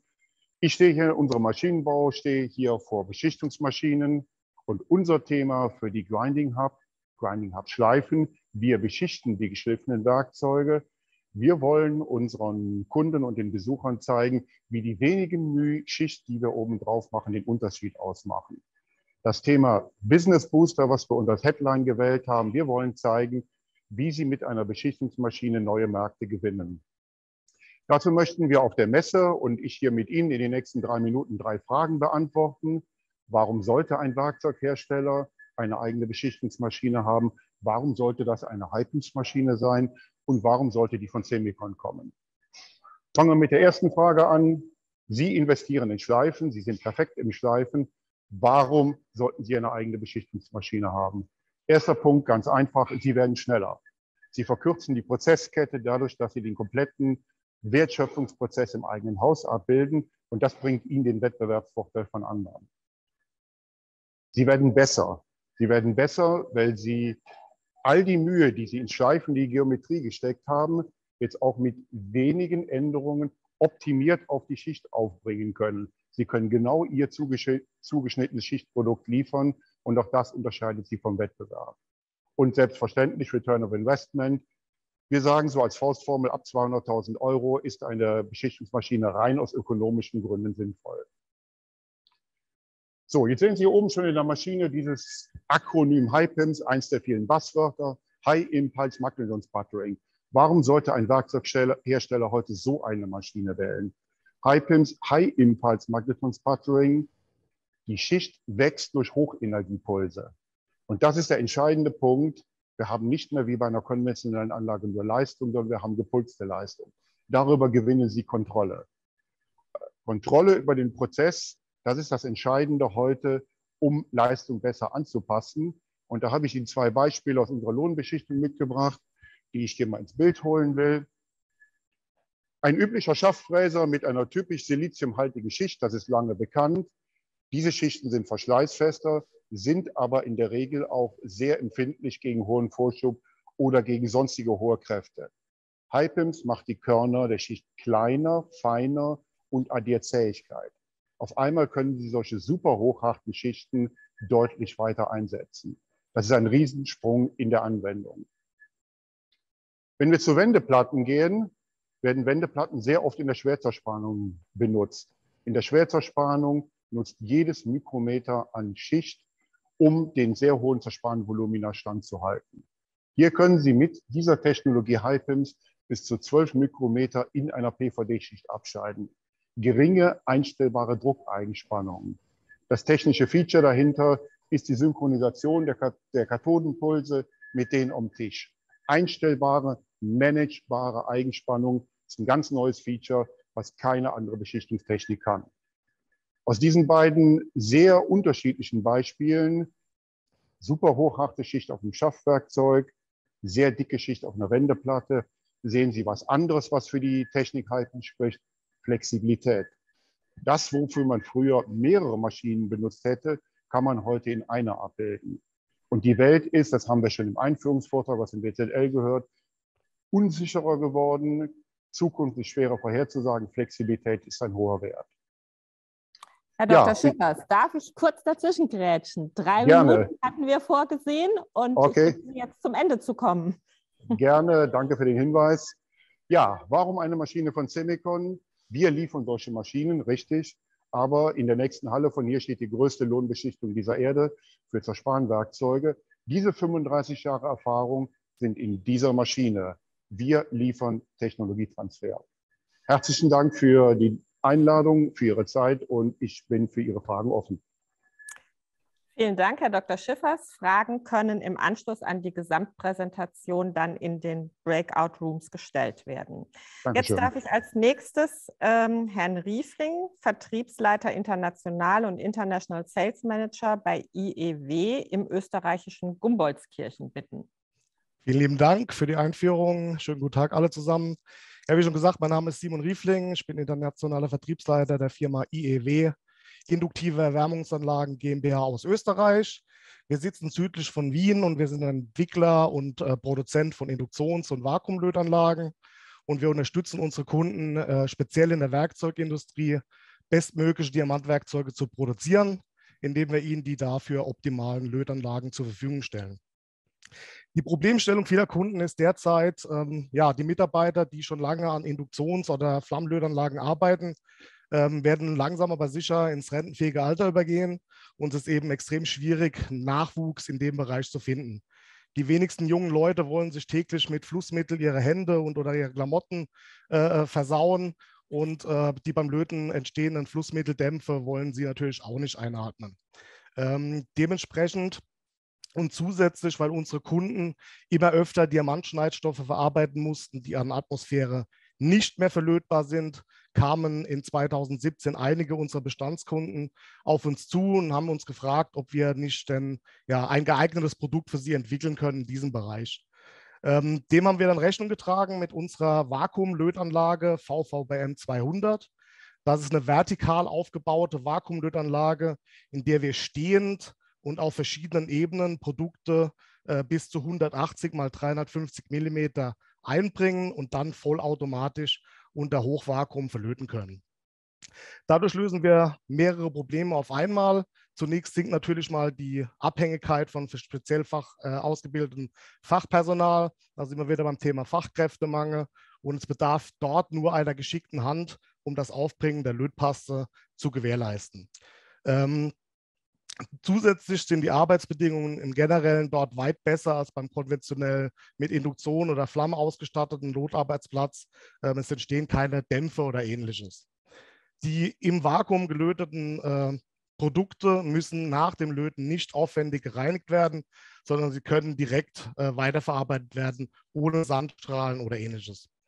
Ähm, die Firma IEW äh, verfügt über eine sehr große Expertise im Bereich der Löttechnik und wir können unsere Kunden hinsichtlich der Lotzusatzwerkstoffauswahl und den geeigneten Prozessparametern beraten und unterstützen.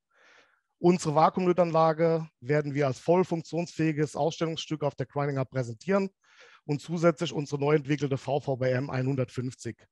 Die ist zwar etwas kleiner, jedoch trotzdem mit hochwertigen und vor allem lokal eingekauften Komponenten, wie zum Beispiel einer Turbomolekularpumpe der Firma Pfeiffer Vakuum und Infrarotstrahlern der Firma Hereus ausgestattet und ist aufgrund eben der einfachen und kompakteren Aufbau äh, deutlich kostengünstiger. Wir freuen uns sehr auf die neue Messe in Stuttgart und hoffen auf viele Besucher und natürlich gute Fachgespräche. Wir werden auf der Messe auch Bauteile löten und wollen auch sagen den Unterschied zeigen zwischen induktionsgelöteten Bauteilen und vakuumgelöteten Bauteilen. Also kommen Sie auf unseren Messestand in der Halle 9 am Stand D35 und besprechen Sie mit uns Ihre Erwärmungsaufgabe. Wir freuen uns auf Ihren Besuch. Vielen lieben Dank. Und bei Fragen stehe ich später gerne noch zur Verfügung. Dankeschön. Ja, ganz herzlichen Dank, Herr Riefling. Und dann darf ich als nächstes Dominik Dippel von Keber Spindel Technology in Rollbach begrüßen.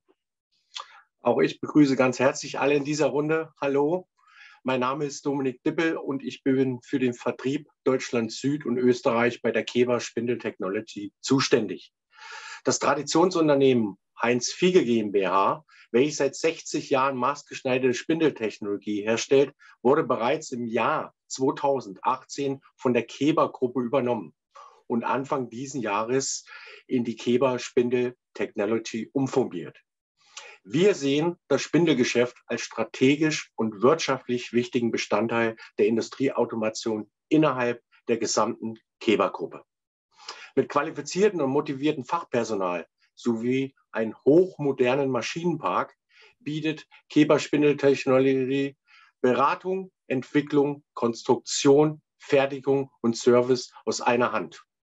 Ob aus unserem Standardprogramm oder individuell und maßgeschneidert auf den jeweiligen Einsatzbereich, unsere Kunden profitieren, vielleicht auch bald Sie, von qualitativ hochwertiger Spindeltechnologie für das Seriengeschäft genauso wie für den Sondermaschinenbau. Unsere Motor-, Riemen- und Abrichtspindeln finden ihren Einsatz in den verschiedensten Applikationen, wie zum Beispiel zum spitzenlosen Schleifen, Polieren, Fräsen und überzeugen durch hohe Präzision und Qualität bis hin zum Condition Monitoring.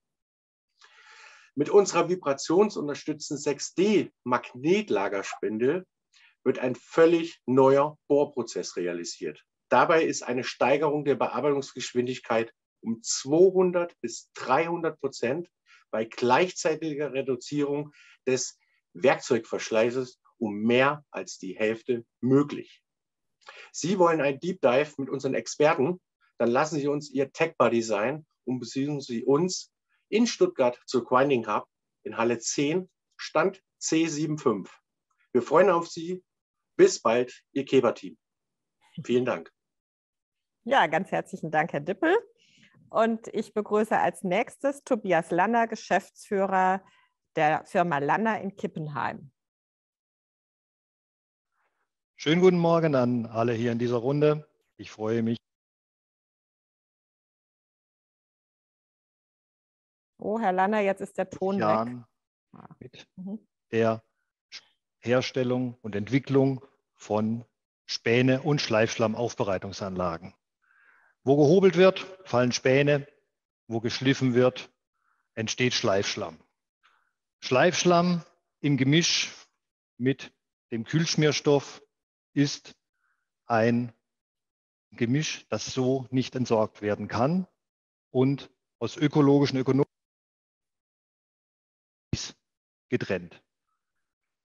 Das Öl kann nach einer Filtrierung der Werkzeugmaschine wieder zurückgegeben werden und nahezu endlos wiederverwendet werden. Das abgetragene Material vom Schleifprozess kann entsorgt werden und nur wenn es optimal aufbereitet ist, stellt es auch keine Umwelt. Wie kann man dieses Gemisch voneinander optimal trennen? Hierzu gibt es unterschiedliche Prozesse. Zum einen über eine Zentrifuge.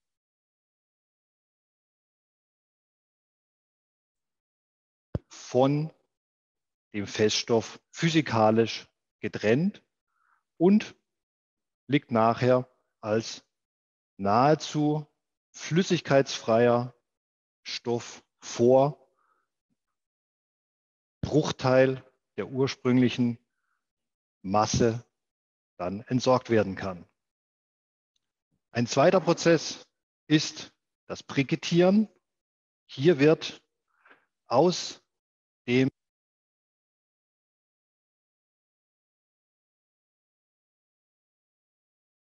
Kein Ton. Das Verbressen wird der Kühlschmierstoff kontinuierlich ausgepresst und kann ebenso wieder zugeführt werden und so gefahrlos entsorgt werden. Beide Prozesse haben ihre Vor- und Nachteile.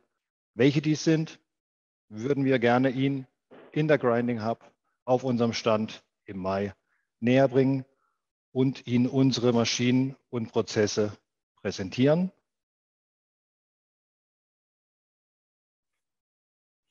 Mai in Stuttgart persönlich zu sehen. Vielen Dank. Ich will ja, ganz herzlichen Dank, Herr Lanner. Wir hatten jetzt ein bisschen Tonprobleme, aber das ist vielleicht ein guter Aufhänger, sich gleich mit Ihnen noch in der Breaking, im Breaking Out Room zusammenzuschließen. Als nächstes äh, begrüße ich Thomas Morgenroth, Verkaufsleiter Sonderspannmittel bei der Heinbuch, äh, Spannen, nee, bei Heinbuch in Marbach.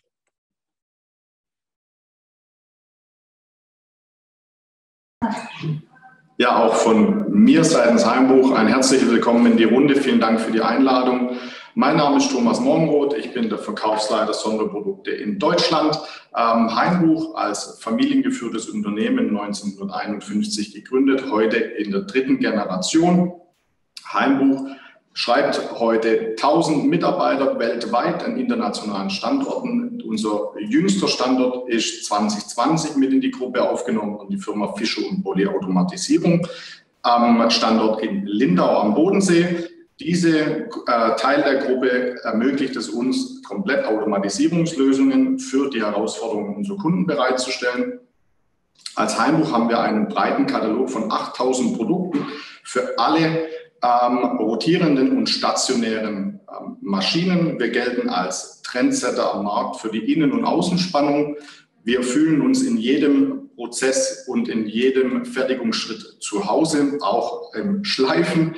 Ähm, wir sind mühgenau unterwegs und eigentlich jedes Getriebeteil, ähm, Zahnräder etc.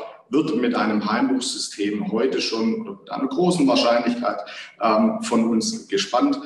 An sich als Merkmal für unser Produkt ist einmal die mühgenaue Spannung, aber zum anderen auch die Rüstfreundlichkeit. Wir schauen immer, dass die Maschine wieder schnell unter Sparen ist und gelten hier als absolute Experten. Aber nicht nur im Standardbereich fühlen wir uns ganz wohl, sondern wir sind auch im Bereich der Sonderlösungen ähm, zu Hause. Das heißt, kommen Sie da gerne auf uns zu und ähm, lassen Sie sich von uns beraten. Wir sagen immer gerne, einmal gibt es den Anzug von der Stange, aber natürlich auch den Anzug als Maßanzug. Ne? Ähm, wir haben diese Experten auch physisch vor Ort an der Messe, aber nicht nur als Personen, sondern auch noch in Hardware. Also unsere Schleifdonne haben wir dort.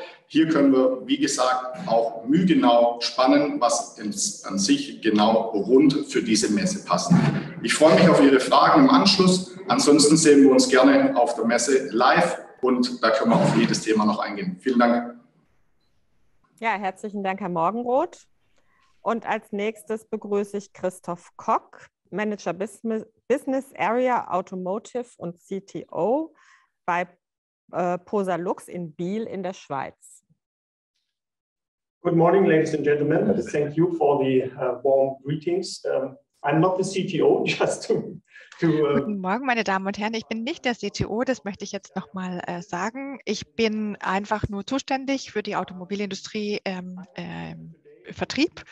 Und es ist heute mein Vergnügen, Ihnen Posalux vorzustellen und ähm, zu zeigen, was wir äh, für die Grinding Hub in petto haben dieses Jahr.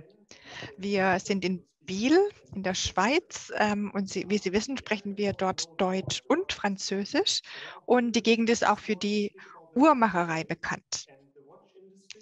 Also die Uhrenindustrie hatte dort ihren Ursprung, ähm, auch in unserer Firma. Und heute haben wir Mikrotechnologie für Massenproduktion und unsere Hauptmärkte sind Europa, Asien und die USA. Wir fokussieren uns auf Elektronik und ähm, Automobilindustrie. Wir haben äh, eine ganze Reihe an ähm, neuen Technologien und konventionellen Maschinen, also zum Beispiel auch Einspritzsysteme für die Automobilindustrie und hier sind wir Marktführer. Und dieser Markt der Verbrennungsmotoren ist ähm, weiterhin interessant für uns. Im Elektronikmarkt haben wir Maschinen für die ähm, für bedruckte Leiterplatten und wir ähm, profitieren von Synergien hier im Markt. Und wir haben ein neues Abenteuer begonnen, indem wir ähm, Maschinen herstellen, die ähm, Löcher ähm, bohren in Elektrik elektrische Leiterplatten für Nadeln. Das heißt, sie sind nur zwei Millimeter Durchmesser oder 40 Mikrometer und weniger. Und das ist tatsächlich eine Herausforderung. Unser Innovationsgeist und unsere Leidenschaft für neue Maschinen ähm, hilft uns dabei, disruptive Maschinen auf den Markt zu bringen. Zum Beispiel ähm, für Lexalite und wir haben da auch ähm, eine hohe Qualität. FMO das sind ähm, ultra klein, äh, also Maschinen für ultra kleine und hochpräzise Werkstücke. Ähm, Sie sagen vielleicht, es ist doch eine ähm, Schleiftechnikmesse. Was machen wir denn da dabei? FTO erlaubt Ihnen, ähm, kontaktfreie Bearbeitung zu machen, ohne extra Kräfte von außen einzuleiten. Es gibt ähm, überhaupt keine Probleme, auch Keramik zu bearbeiten. Wenn Sie über diese Lösungen mehr erfahren möchten, dann freuen wir uns, Sie in Stuttgart ähm, in, am Stand e, äh, A75 begrüßen zu dürfen. Vielen Dank, Herr Koch. Ich würde äh, jetzt begrüßen Heiko Zimmermann, Vertrieb Deutschland bei der Haas Schleifmaschinen GmbH in Trossingen. Ja, liebe Schleifbegeisterte, mein Name ist Heiko Zimmermann von der Haas Schleifmaschinen GmbH in Drossingen. Ähm, ich möchte Ihnen kurz mitteilen, warum Sie uns unbedingt in Halle 10 während der Grinding Hub besuchen sollten. Wir würden gerne zwei Weltpremieren mit Ihnen zusammen feiern. Zum einen stellen wir der Öffentlichkeit zum ersten Mal unsere neue Automationssoftwarelösung die Haas Multimation Software vor.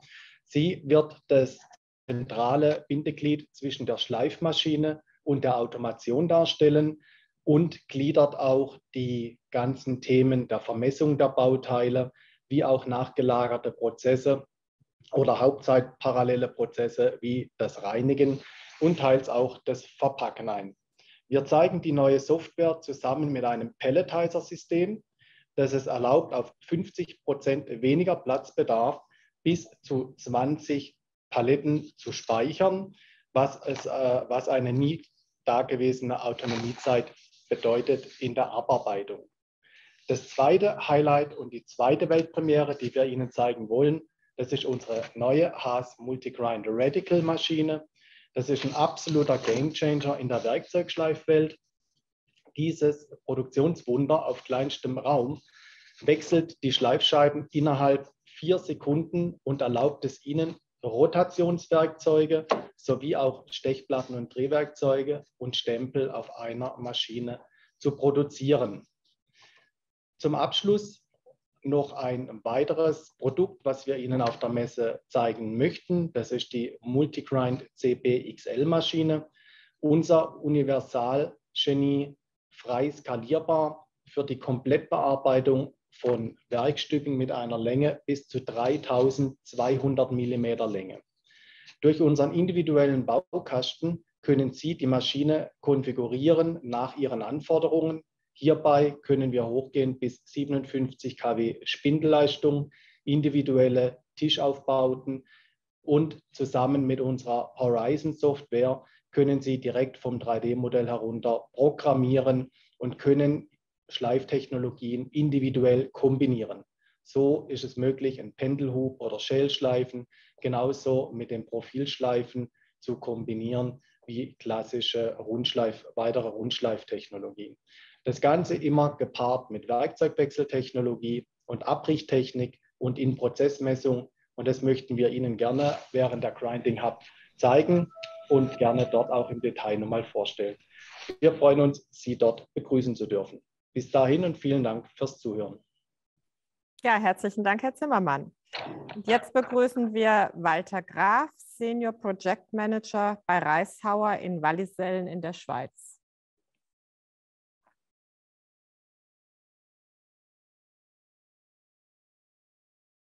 Herr Graf, wir hören Sie nicht.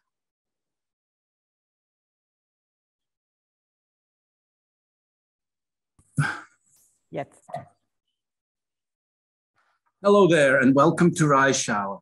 My name is Walter Graf. Hallo zusammen zu Re bei Reischauer. Ich bin Walter Graf und ich möchte Ihnen ein bisschen mehr über Reischauer erzählen und was wir auf der Grinding Hub ähm, Messe ausstellen werden.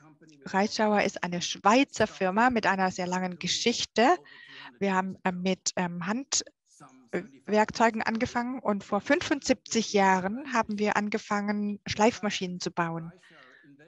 Reischauer hat zum Beispiel die ähm, Waldschleifmaschinen erfunden und seitdem immer weiterentwickelt. Und jetzt möchte ich Ihnen noch etwas über unsere Philosophie erzählen. Unsere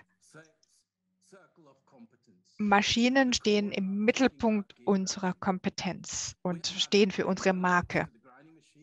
Wir haben viele Elemente an die Schleifmaschinen hinzugefügt, zum Beispiel Automation, also Laden und Entladen, ähm, die ganze Palette an Werkzeugen, ähm, ähm, Diamantabrichtgewerkzeuge, Kuhldüsen und so weiter. Und die werden alle bei uns in-house in der Schweiz hergestellt. Und zu diesem Kreis gehört auch ähm, Schleiftechnologie-Anwendungen. Ähm, und unser ähm, Kompetenzkreis ähm, wurde durch Argus erweitert. Das ist ein ähm, Überwachungssystem. Und damit komme ich jetzt direkt zur ähm, Grinding Hub Messe. Argus steht hier im Zentrum und damit ähm, zeigen wir unsere Erfahrung. Und wir zeigen Ihnen, was wir meinen, wenn wir den, ähm, den Schleifprozess transparent machen möchten. Also Argus zeigt Ihnen, wie das aussieht und Sie können sich selbst davon überzeugen. Und natürlich gibt es da vier Technologietabellen ähm, mit ähm, Animationen. Dazu gehört ähm, zum Beispiel ähm, die Schleifscheiben, die Abrichtwerkzeuge, ähm, die ganzen Anwendungen, mechanische und hydraulische Lösungen. Also wenn Sie uns am Stand besuchen, dann können Sie davon ausgehen, dass wir freundlich empfangen werden von unseren sehr kompetenten Ingenieuren und die werden Ihnen dabei erzählen können, wie Sie Ihre Produktion weiter optimieren können. Also wir freuen uns darauf, Sie an der Grinding, bei der Grinding Hub zu sehen. Bis bald. Vielen Dank, Herr Graf. Jetzt begrüßen Markus Bäumler, Sales Director Lasertech von DMG Mori in Leonberg. Thank you very much for the opportunity to present the DMG Mori technology. As mentioned, my Vielen Dank. Ähm, ich bin Markus Bäumler, der Vertriebsdirektor at DMG Mori.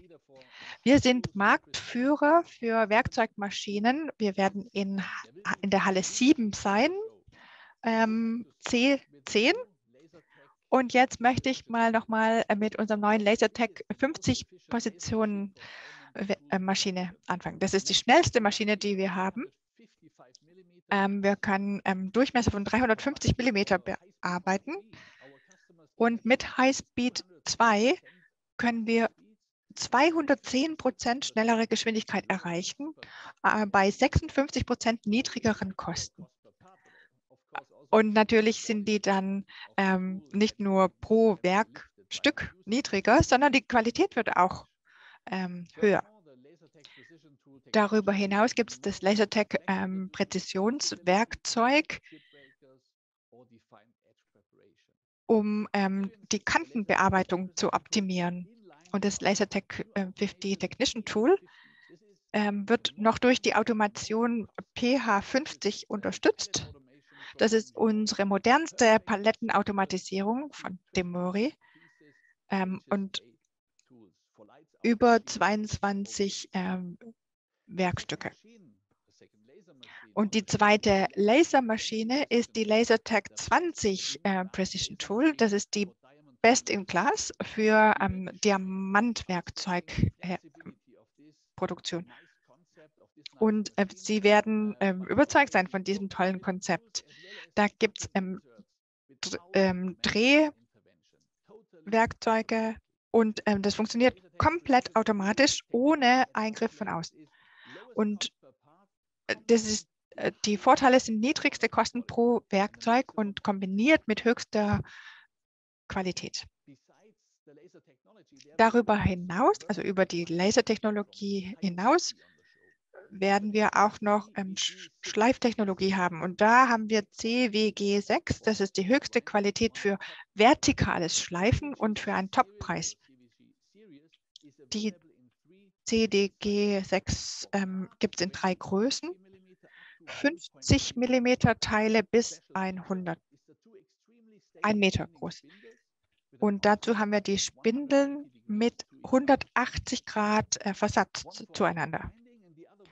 Also eine für Außenschleifen, die andere für Innenschleifen. Und da gibt es ungefähr, da gibt es auch sechs Stationen für Werkzeugwechsel. Damit kann die auch vollautomatisiert betrieben werden. Das ist die CDG 6 mit einem automatischen Palettenwechsler. Also bitte kommen Sie und besuchen Sie uns. Ähm, Halle 7, C10 und wir freuen uns auf ähm, Gespräche mit Ihnen. Vielen Dank, Mr. Beimler. Und ich übergebe das Wort an Martin Reichert von Blaser Swiss Loop in Hasle-Rügsau in der Schweiz. Äh, danke an alle, die in der Interessensrunde dabei sind. Mein Name ist Martin Reichert. Ich bin seit ungefähr 30 Jahren in der Schleifbranche tätig, als Anwendungstechniker wie auch Optimierer. Für mich ist es so in diesem Sinne eine Passion für Präzision. Heute für die Firma Blaser Swissloop im Verkauf und in der Anwendungstechnik tätig, äh, einem globalen Unternehmen, welches heute sich in der dritten Generation sich befindet. Wir stellen hochwertige wassermischbare wie auch nicht wassermischbare Kühlschmierstoffe für die metallzerspannende Industrie seit ungefähr Größenordnung 60 Jahren erfolgreich her. Global sind wir ungefähr 600 Mitarbeiter, welche vor Ort bei Ihnen äh, ihren Dienst tun. Wissen Sie, wieso der Kühlschmierstoff eine so große Hebelwirkung hat? Also eine Prozessstudie aus Frankreich, die auch die tagtägliche Arbeit, welche wir feststellen, dass eigentlich der Kühlschmierstoff nur 0,5 Prozent der Prozesskosten ausmacht. Aber die Hebelwirkung, die ich mit einem Kühlschmierstoff habe, um die Fertigungskosten positiv zu beeinflussen, betragt ungefähr 95 Prozent. In Diesbezug auf die Werkzeugstandzeit, Maschinenkapazität wie auch die Maschinenverfügbarkeit.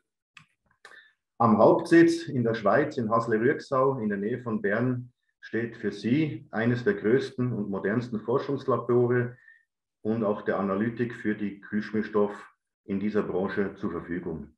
Sowie auch ein, ein modernes, ausgestattetes Technologiezentrum, in welchem diverse CNC-Maschinen vor Ort stehen, äh, für die Bearbeitung mit definierter wie auch undefinierter Schneide, sprich Fräsen, Drehen, Bohren und Schleifen. Dies ist ein Service, den wir Ihnen in diesem Sinne anbieten, in Service in the Drums. Dies alles ist ein entscheidender wie auch zentraler Erfolgsfaktor. Wir dürfen auch sagen und stolz darauf sein, ein Alleinstellungsmerkmal, den Kühlschmierstoff für Sie in ein flüssiges Werkzeug zu verwandeln. Mein Appell diesbezüglich, ich freue mich, nehmen Sie Kontakt mit uns auf. Es lohnt sich allemal, sich mit erfahrenen Zerspannungstechnologen aus der Branche sich auszutauschen, um einen Mehrwert in den Fertigungsprozessen zu erzielen. Aus diesem Grund haben wir uns entschieden, an der, Grindtech, an der, an der Grinding Hub auszustellen in Halle 7, Stand 7C30. Ich freue mich auf Sie. Ja, ganz herzlichen Dank, Herr Reichert. Und als nächstes ähm, gebe ich das Wort an Paul Kössel von der United Grinding Group in Bern in der Schweiz.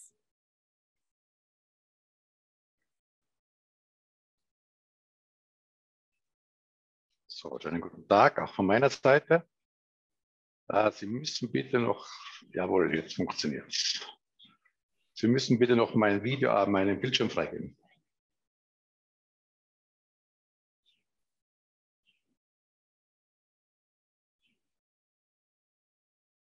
Rebecca, jetzt funktioniert es.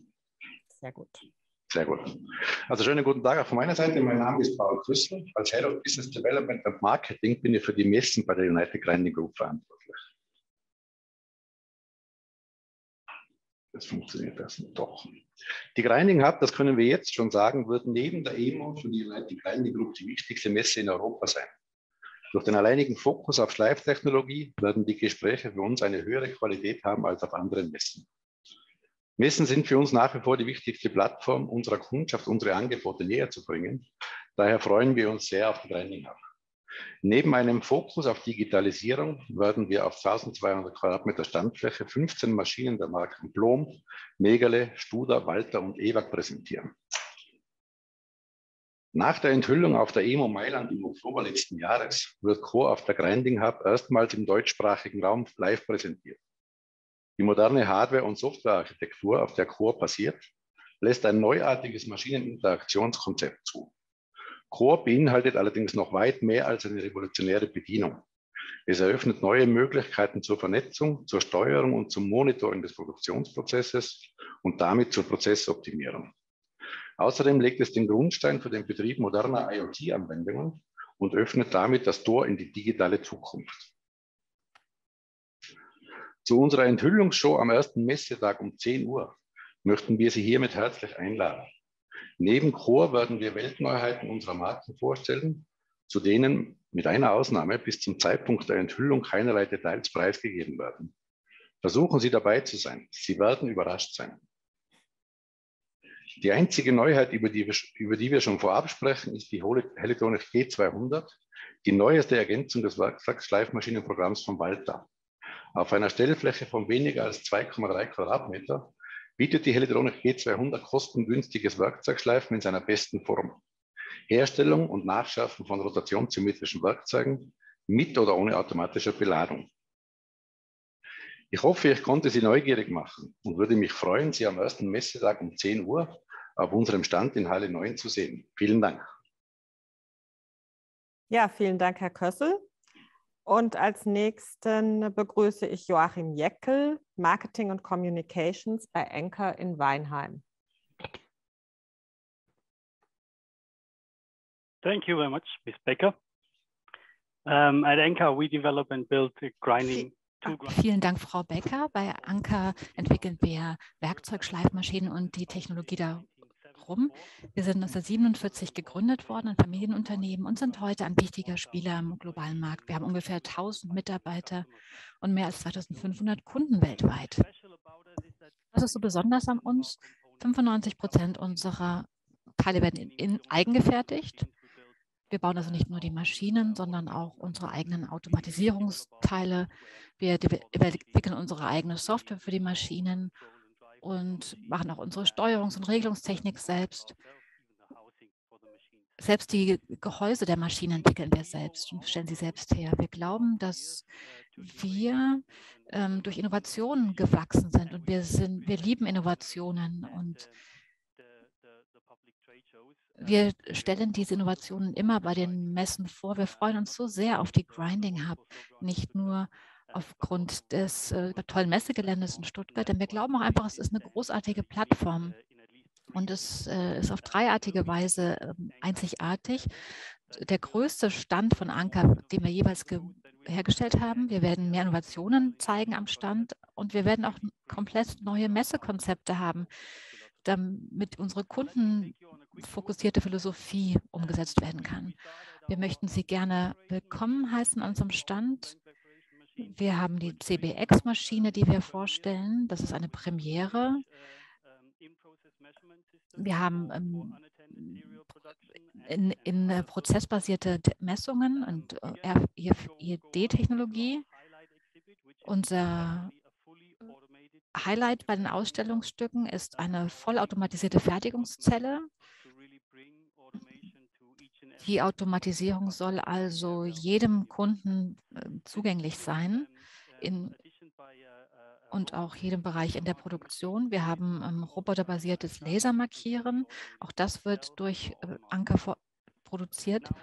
Und das größere Automatisierungskonzept in der Zelle wird auch mit einem kleineren wiedergespiegelt. Für ganz kleine Maschinen, Finger, Fingerwerkzeuge. Das können Sie bei unserem SX7 sehen. Da zeigen wir ganz genau, wie wir mit dieser RFID-Technologie arbeiten. Und außerdem haben wir noch die MX7. Das ist äh, für die ähm, Schneidplattenfertigung eine Komplettlösung, sehr effektiv.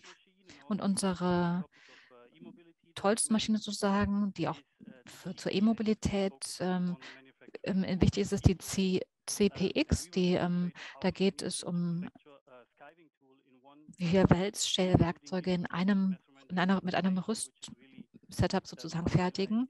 Und das ist ein Highlight, was die Komplexität der Messungen anbelangt.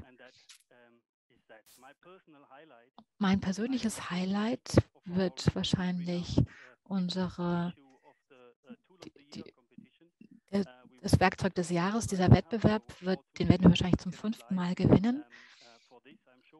Ich bin mir sicher, dass wir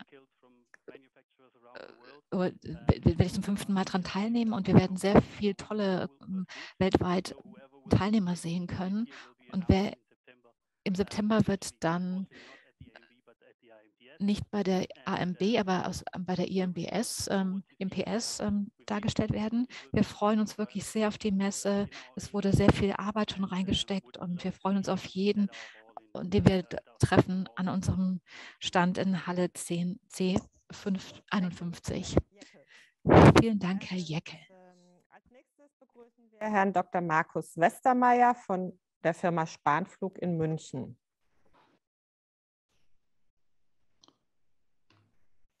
So. Gut. Sehr verehrte Damen und Herren, mein Name ist Markus Westermeier, ich bin einer der Gründer und Geschäftsführer von Spanflug und ähm, bin wahrscheinlich ein Ausreißer in dieser Runde. Ich darf Ihnen nämlich an dieser Stelle ein Software-Thema vorstellen. Und zwar möchte ich Ihnen zeigen, wie Sie mit intelligenten Algorithmen von Spanflug eine resiliente Lieferkette für Fertigungsteile aufbauen können. In den letzten Jahren, das glaube ich, braucht man heute nicht mehr zu betonen, Ups, die Präsentation weg, gehen wir nochmal zurück, waren sehr turbulent für die Industrie. Zahlen des VDMA und VDW belegen eine extrem volatile Marktentwicklung in den letzten zwei Jahren. Ähm, die Beschaffung ist dabei zu einer der größten Herausforderungen geworden. 70 Prozent der Unternehmen im Maschinenbau beklagen Lieferengpässe und das schon vor dem Ukraine-Krieg. Ich hoffe, Sie können auch meinen Bildschirm sehen. Es ist wieder weg, Sie müssten es neu starten einmal bitte. Okay, vielen Dank für den Hinweis.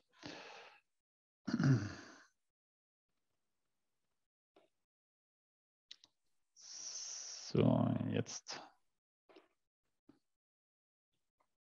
Und die Beschaffung von individuellen Fertigungsteilen verursacht dabei besonders hohe Aufwände.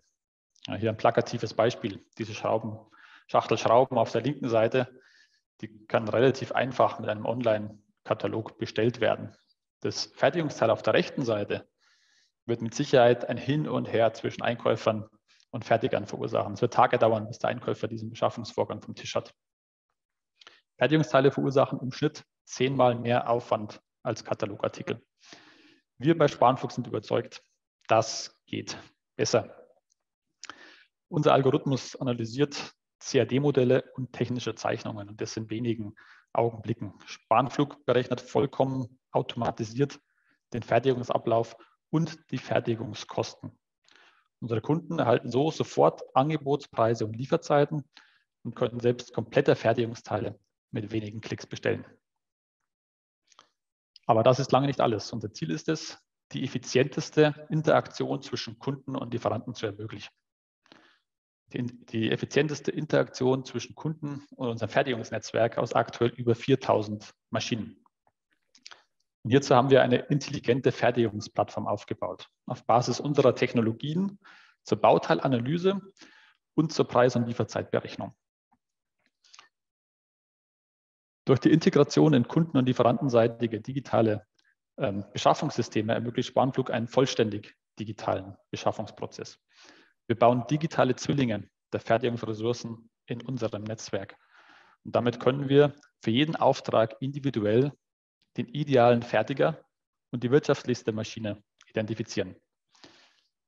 Wir arbeiten mit Echtzeitinformationen von Metall- und Kunststoffhändlern, sodass sehr genaue Preis- und Lieferzeitaussagen möglich sind.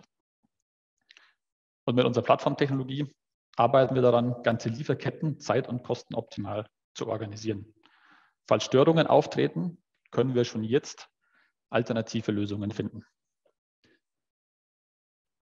Mit Spanflug senken Sie den Beschaffungsaufwand um bis zu 90 Prozent. Der Beschaffungsprozess wird von mehreren Tagen auf wenige Minuten reduziert. Sie greifen auf sichere Lieferketten mit sehr hoher Liefertermintreue zu. Und wir bieten einen durchgängigen digitalen Prozess für Drehteile, für Frästeile und ab der Grinding Hub auch für Schleifteile. Mehr als 2000 Kunden vertrauen bereits auf Spanflug. Herzlichen Dank. Ja, herzlichen Dank, Herr Dr. Westermeier. Und jetzt begrüße ich ähm, Ingo Wolf, Leiter Marketing Service von der Firma Vollmar in Biberach. Hallo, danke, Frau Becker. Ja, meine sehr geehrten Damen und Herren, ich begrüße Sie auch ganz herzlich im Namen der Vollmer Gruppe. Mein Name ist Ingo Wolf, ich bin Marketingleiter bei Vollmer und zu Hause sind wir in Deutschland im schwäbischen Biberach. Als Maschinenbauer dreht sich bei uns seit mehr als 111 Jahren alles um die Kunst des Schärfens. Angefangen hat alles mit der Säge, mit Schärfmaschinen für Band- und Kreissägen. Aber seit vielen Jahren gehört auch die Bearbeitung von Rotationswerkzeugen zu unserem Maschinenportfolio. Egal, ob unsere Kunden Bohrer, Fräser oder Kreissägen aus PKD, Hartmetall oder auch aus anderen ultraharten Werkstoffen herstellen. Wir haben die passende Technologie dafür.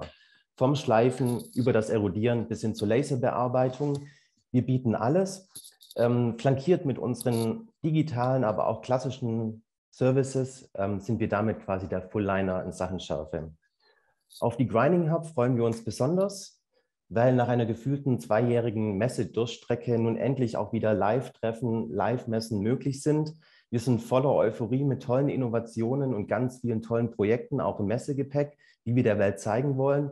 Und unser Messemotto lautet daher 2022, wir starten durch Unsere Kampagne ruht dabei auf fünf Säulen bzw. fünf Schlagworten. Schärfer, smarter, sauberer, sozialer und stärker. Schärfer machen unsere Maschinen. Wir werden auf der Grinding Hub gleich fünf Weltpremieren haben. Ähm, aus unserer V-Grind Produktreihe zum Schleifen von Rotationswerkzeugen wird es gleich drei neue Modelle geben aber auch bei der Bearbeitung von Kreissägen für die Flanke und die Span- und Freifläche werden wir zwei neue Maschinenneuheiten in den Startlöchern haben. Aber auch bewährte Lösungen aus dem Bereich des Erodierens, aus dem Bereich der Laserbearbeitung werden mit von der Partie sein. Smarter sind Vollmer-Technologien dank digitaler Services. Wir bieten Lösungen, um Maschinen smarter zu machen oder um Services wie Wartungen und Schulungen auch webbasiert anzubieten. Auf der Grinding Hub werden wir erstmals unser neues Kundenportal vorstellen, ähm, das unseren Kunden quasi das Online-Tor zu digitalen Maschinendaten, digitalen Informationen oder auch zu einem neuen Web-Ersatzteilshop öffnet. Sauberer soll unsere Umwelt werden. Das grüne Vollmer V hier steht für energieeffiziente Technologien, für Einsparungen von Ressourcen sowie nachhaltiges Handeln insgesamt. Und dazu zählen für uns auch langfristige Beziehungen mit Kunden, Partnern und der Belegschaft, aber auch eine nachhaltige Unternehmenskultur. Sozialer bedeutet für uns nicht nur über Social-Media-Kanäle den Austausch mit Partnern zu pflegen, sondern auch über persönliche Kontakte bei echten Begegnungen, wie hoffentlich bald auf der Grinding Hub. Stärker machen uns Events wie die Grinding Hub und zudem stärken wir auch mit innovativen Produkten unsere weltweite Technologieführerschaft. Aber last but not least, ein hochqualifiziertes Team hier auf diesem Bild aus 800 Mitarbeitenden macht Vollmer wirklich Tag für Tag noch stärker. Mein letztes Schild, das ist hier diese Maske. Ähm, ich hoffe, wir brauchen sie Mai nicht, aber auch mit oder ohne Maske. Wir freuen uns, Sie bei uns auf dem Stand begrüßen zu dürfen. Sie finden Vollmer in Halle 7 am Messestand 7C50. Ich hoffe, wir sehen uns dort alle. Besten Dank für Ihre Aufmerksamkeit und hoffentlich bis bald in Stuttgart. Ja, herzlichen Dank, Herr Wolf. Und äh, Herr Röders hat signalisiert, dass es jetzt funktioniert. Deswegen gebe ich das Wort sehr gerne nochmal an ähm, Jürgen Röders von der Firma Röders in Soltau. Ja, vielen Dank. Ich hoffe, Sie können mich jetzt hören. Ja, perfekt. Röders ist Ihnen, äh, denke ich, bekannt als Hersteller von präzisen Fräs- und zunehmend auch Schleifmaschinen. Das Besondere von Röders ist, dass wir nicht nur die Konstruktion selber entwickeln, sondern insbesondere auch eigene Steuerungs- und Regelungstechnik einsetzen, die wir vorwiegend mit dem Ziel auf höchstmögliche Präzision hin optimieren. Das hat dazu für, geführt, dass wir vor ungefähr schon 20 Jahren erkannt haben, dass das Fräsen als Prozess eben unsere Genauigkeit in den Maschinen begrenzt und wir als einer der ersten angefangen haben, auch Schleifen in die Maschinen zu integrieren und die Verfahren Fräsen und Schleifen inzwischen sehr erfolgreich kombinieren. Zunächst Koordinatenschleifen, aber zunehmend auch vertikal oder Profilschleifen. So erreichen wir heute Genauigkeiten, um Ihnen mal ein Beispiel zu geben, bei Rundschleifen im Bereich 0,5 Mikrometer. Die Kunden können somit die Steifigkeit der Fräsmaschine kombinieren mit der hohen Präzision, die durch unsere Technik ermöglicht wird und damit ganz erhebliche Einsparungen realisieren. Bisher hatten wir Maschinen im Programm von 400 mm bis 1400 und wir stellen jetzt erstmals auf der Grinding Hub eine Maschine vor, die 2 Meter mal 1,80 Meter Verfahrweg in XY hat, also eine sogenannte, wie wir es nennen, XXL-Koordinatenschleifmaschine, was es bisher so wohl noch nicht gab mit der sie hochgenau Stichmaße unter 5 Mikrometer im gesamten Verfahrbereich, aber auch Rundheiten im Bereich 1 bis 2 Mikrometer verlässlich realisieren können. Das ist äh, möglich aufgrund des besonderen Temperaturmanagements im Gestell, aber auch bei den ganzen inneren Wärmequellen. Und das zielt auf Anwendungen wie Folgeverbundwerkzeuge, große oder auch äh, Spritzgusswerkzeuge mit kleinen Radien, wo sehr genau gefertigt werden müssen, oder auch Maschinenbauteile. Das ist nicht die einzige Neuheit, die wir zeigen werden. Wir werden darüber hinaus äh, ein besser verbessertes Körperschallantasten zeigen, wo wir inzwischen Antastgenauigkeiten auch bei sehr kleinen Schleifwerkzeugen unter, unter ein Mikrometer erreichen, also im Submikrometerbereich. Und wir werden Werkzeugwechsler vorstellen, die große Schleifscheiben automatisiert einwechseln mit äh, gerichteten Kühlmitteldüsen. Das ist nicht unbedingt etwas Neues für die Schleiftechnologie, aber ist Neues für große Fräsmaschinen, dass man so etwas auch automatisiert mit großen Kühlmittelmengen einwechseln kann. Das ganz kurz von Röders. Ich hoffe, ich habe Sie ein wenig neugierig gemacht und würde mich für weitergehende Fragen, über weitergehende Fragen natürlich sehr freuen. Vielen herzlichen Dank. Ja, ganz herzlichen Dank, Herr Röders. Damit sind wir am Ende unserer Elevator Pitches. Ich bedanke mich ganz herzlich bei allen Referenten, die heute mit dabei waren und uns so einen vielfältigen Überblick über das äh, gegeben haben, was uns auf der Grinding Hub erwartet. Ich denke, ähm, die Kolleginnen und Kollegen aus den Medien werden eine Fülle von Anhaltspunkten für ihre Vorberichterstattung bekommen haben. Und ähm, erste, eine erste Möglichkeit, ähm, dieses zu vertiefen, bieten wir jetzt mit den sogenannten Breakout Rooms, die ähm, in unserem Tool Zoom zur Verfügung gestellt werden.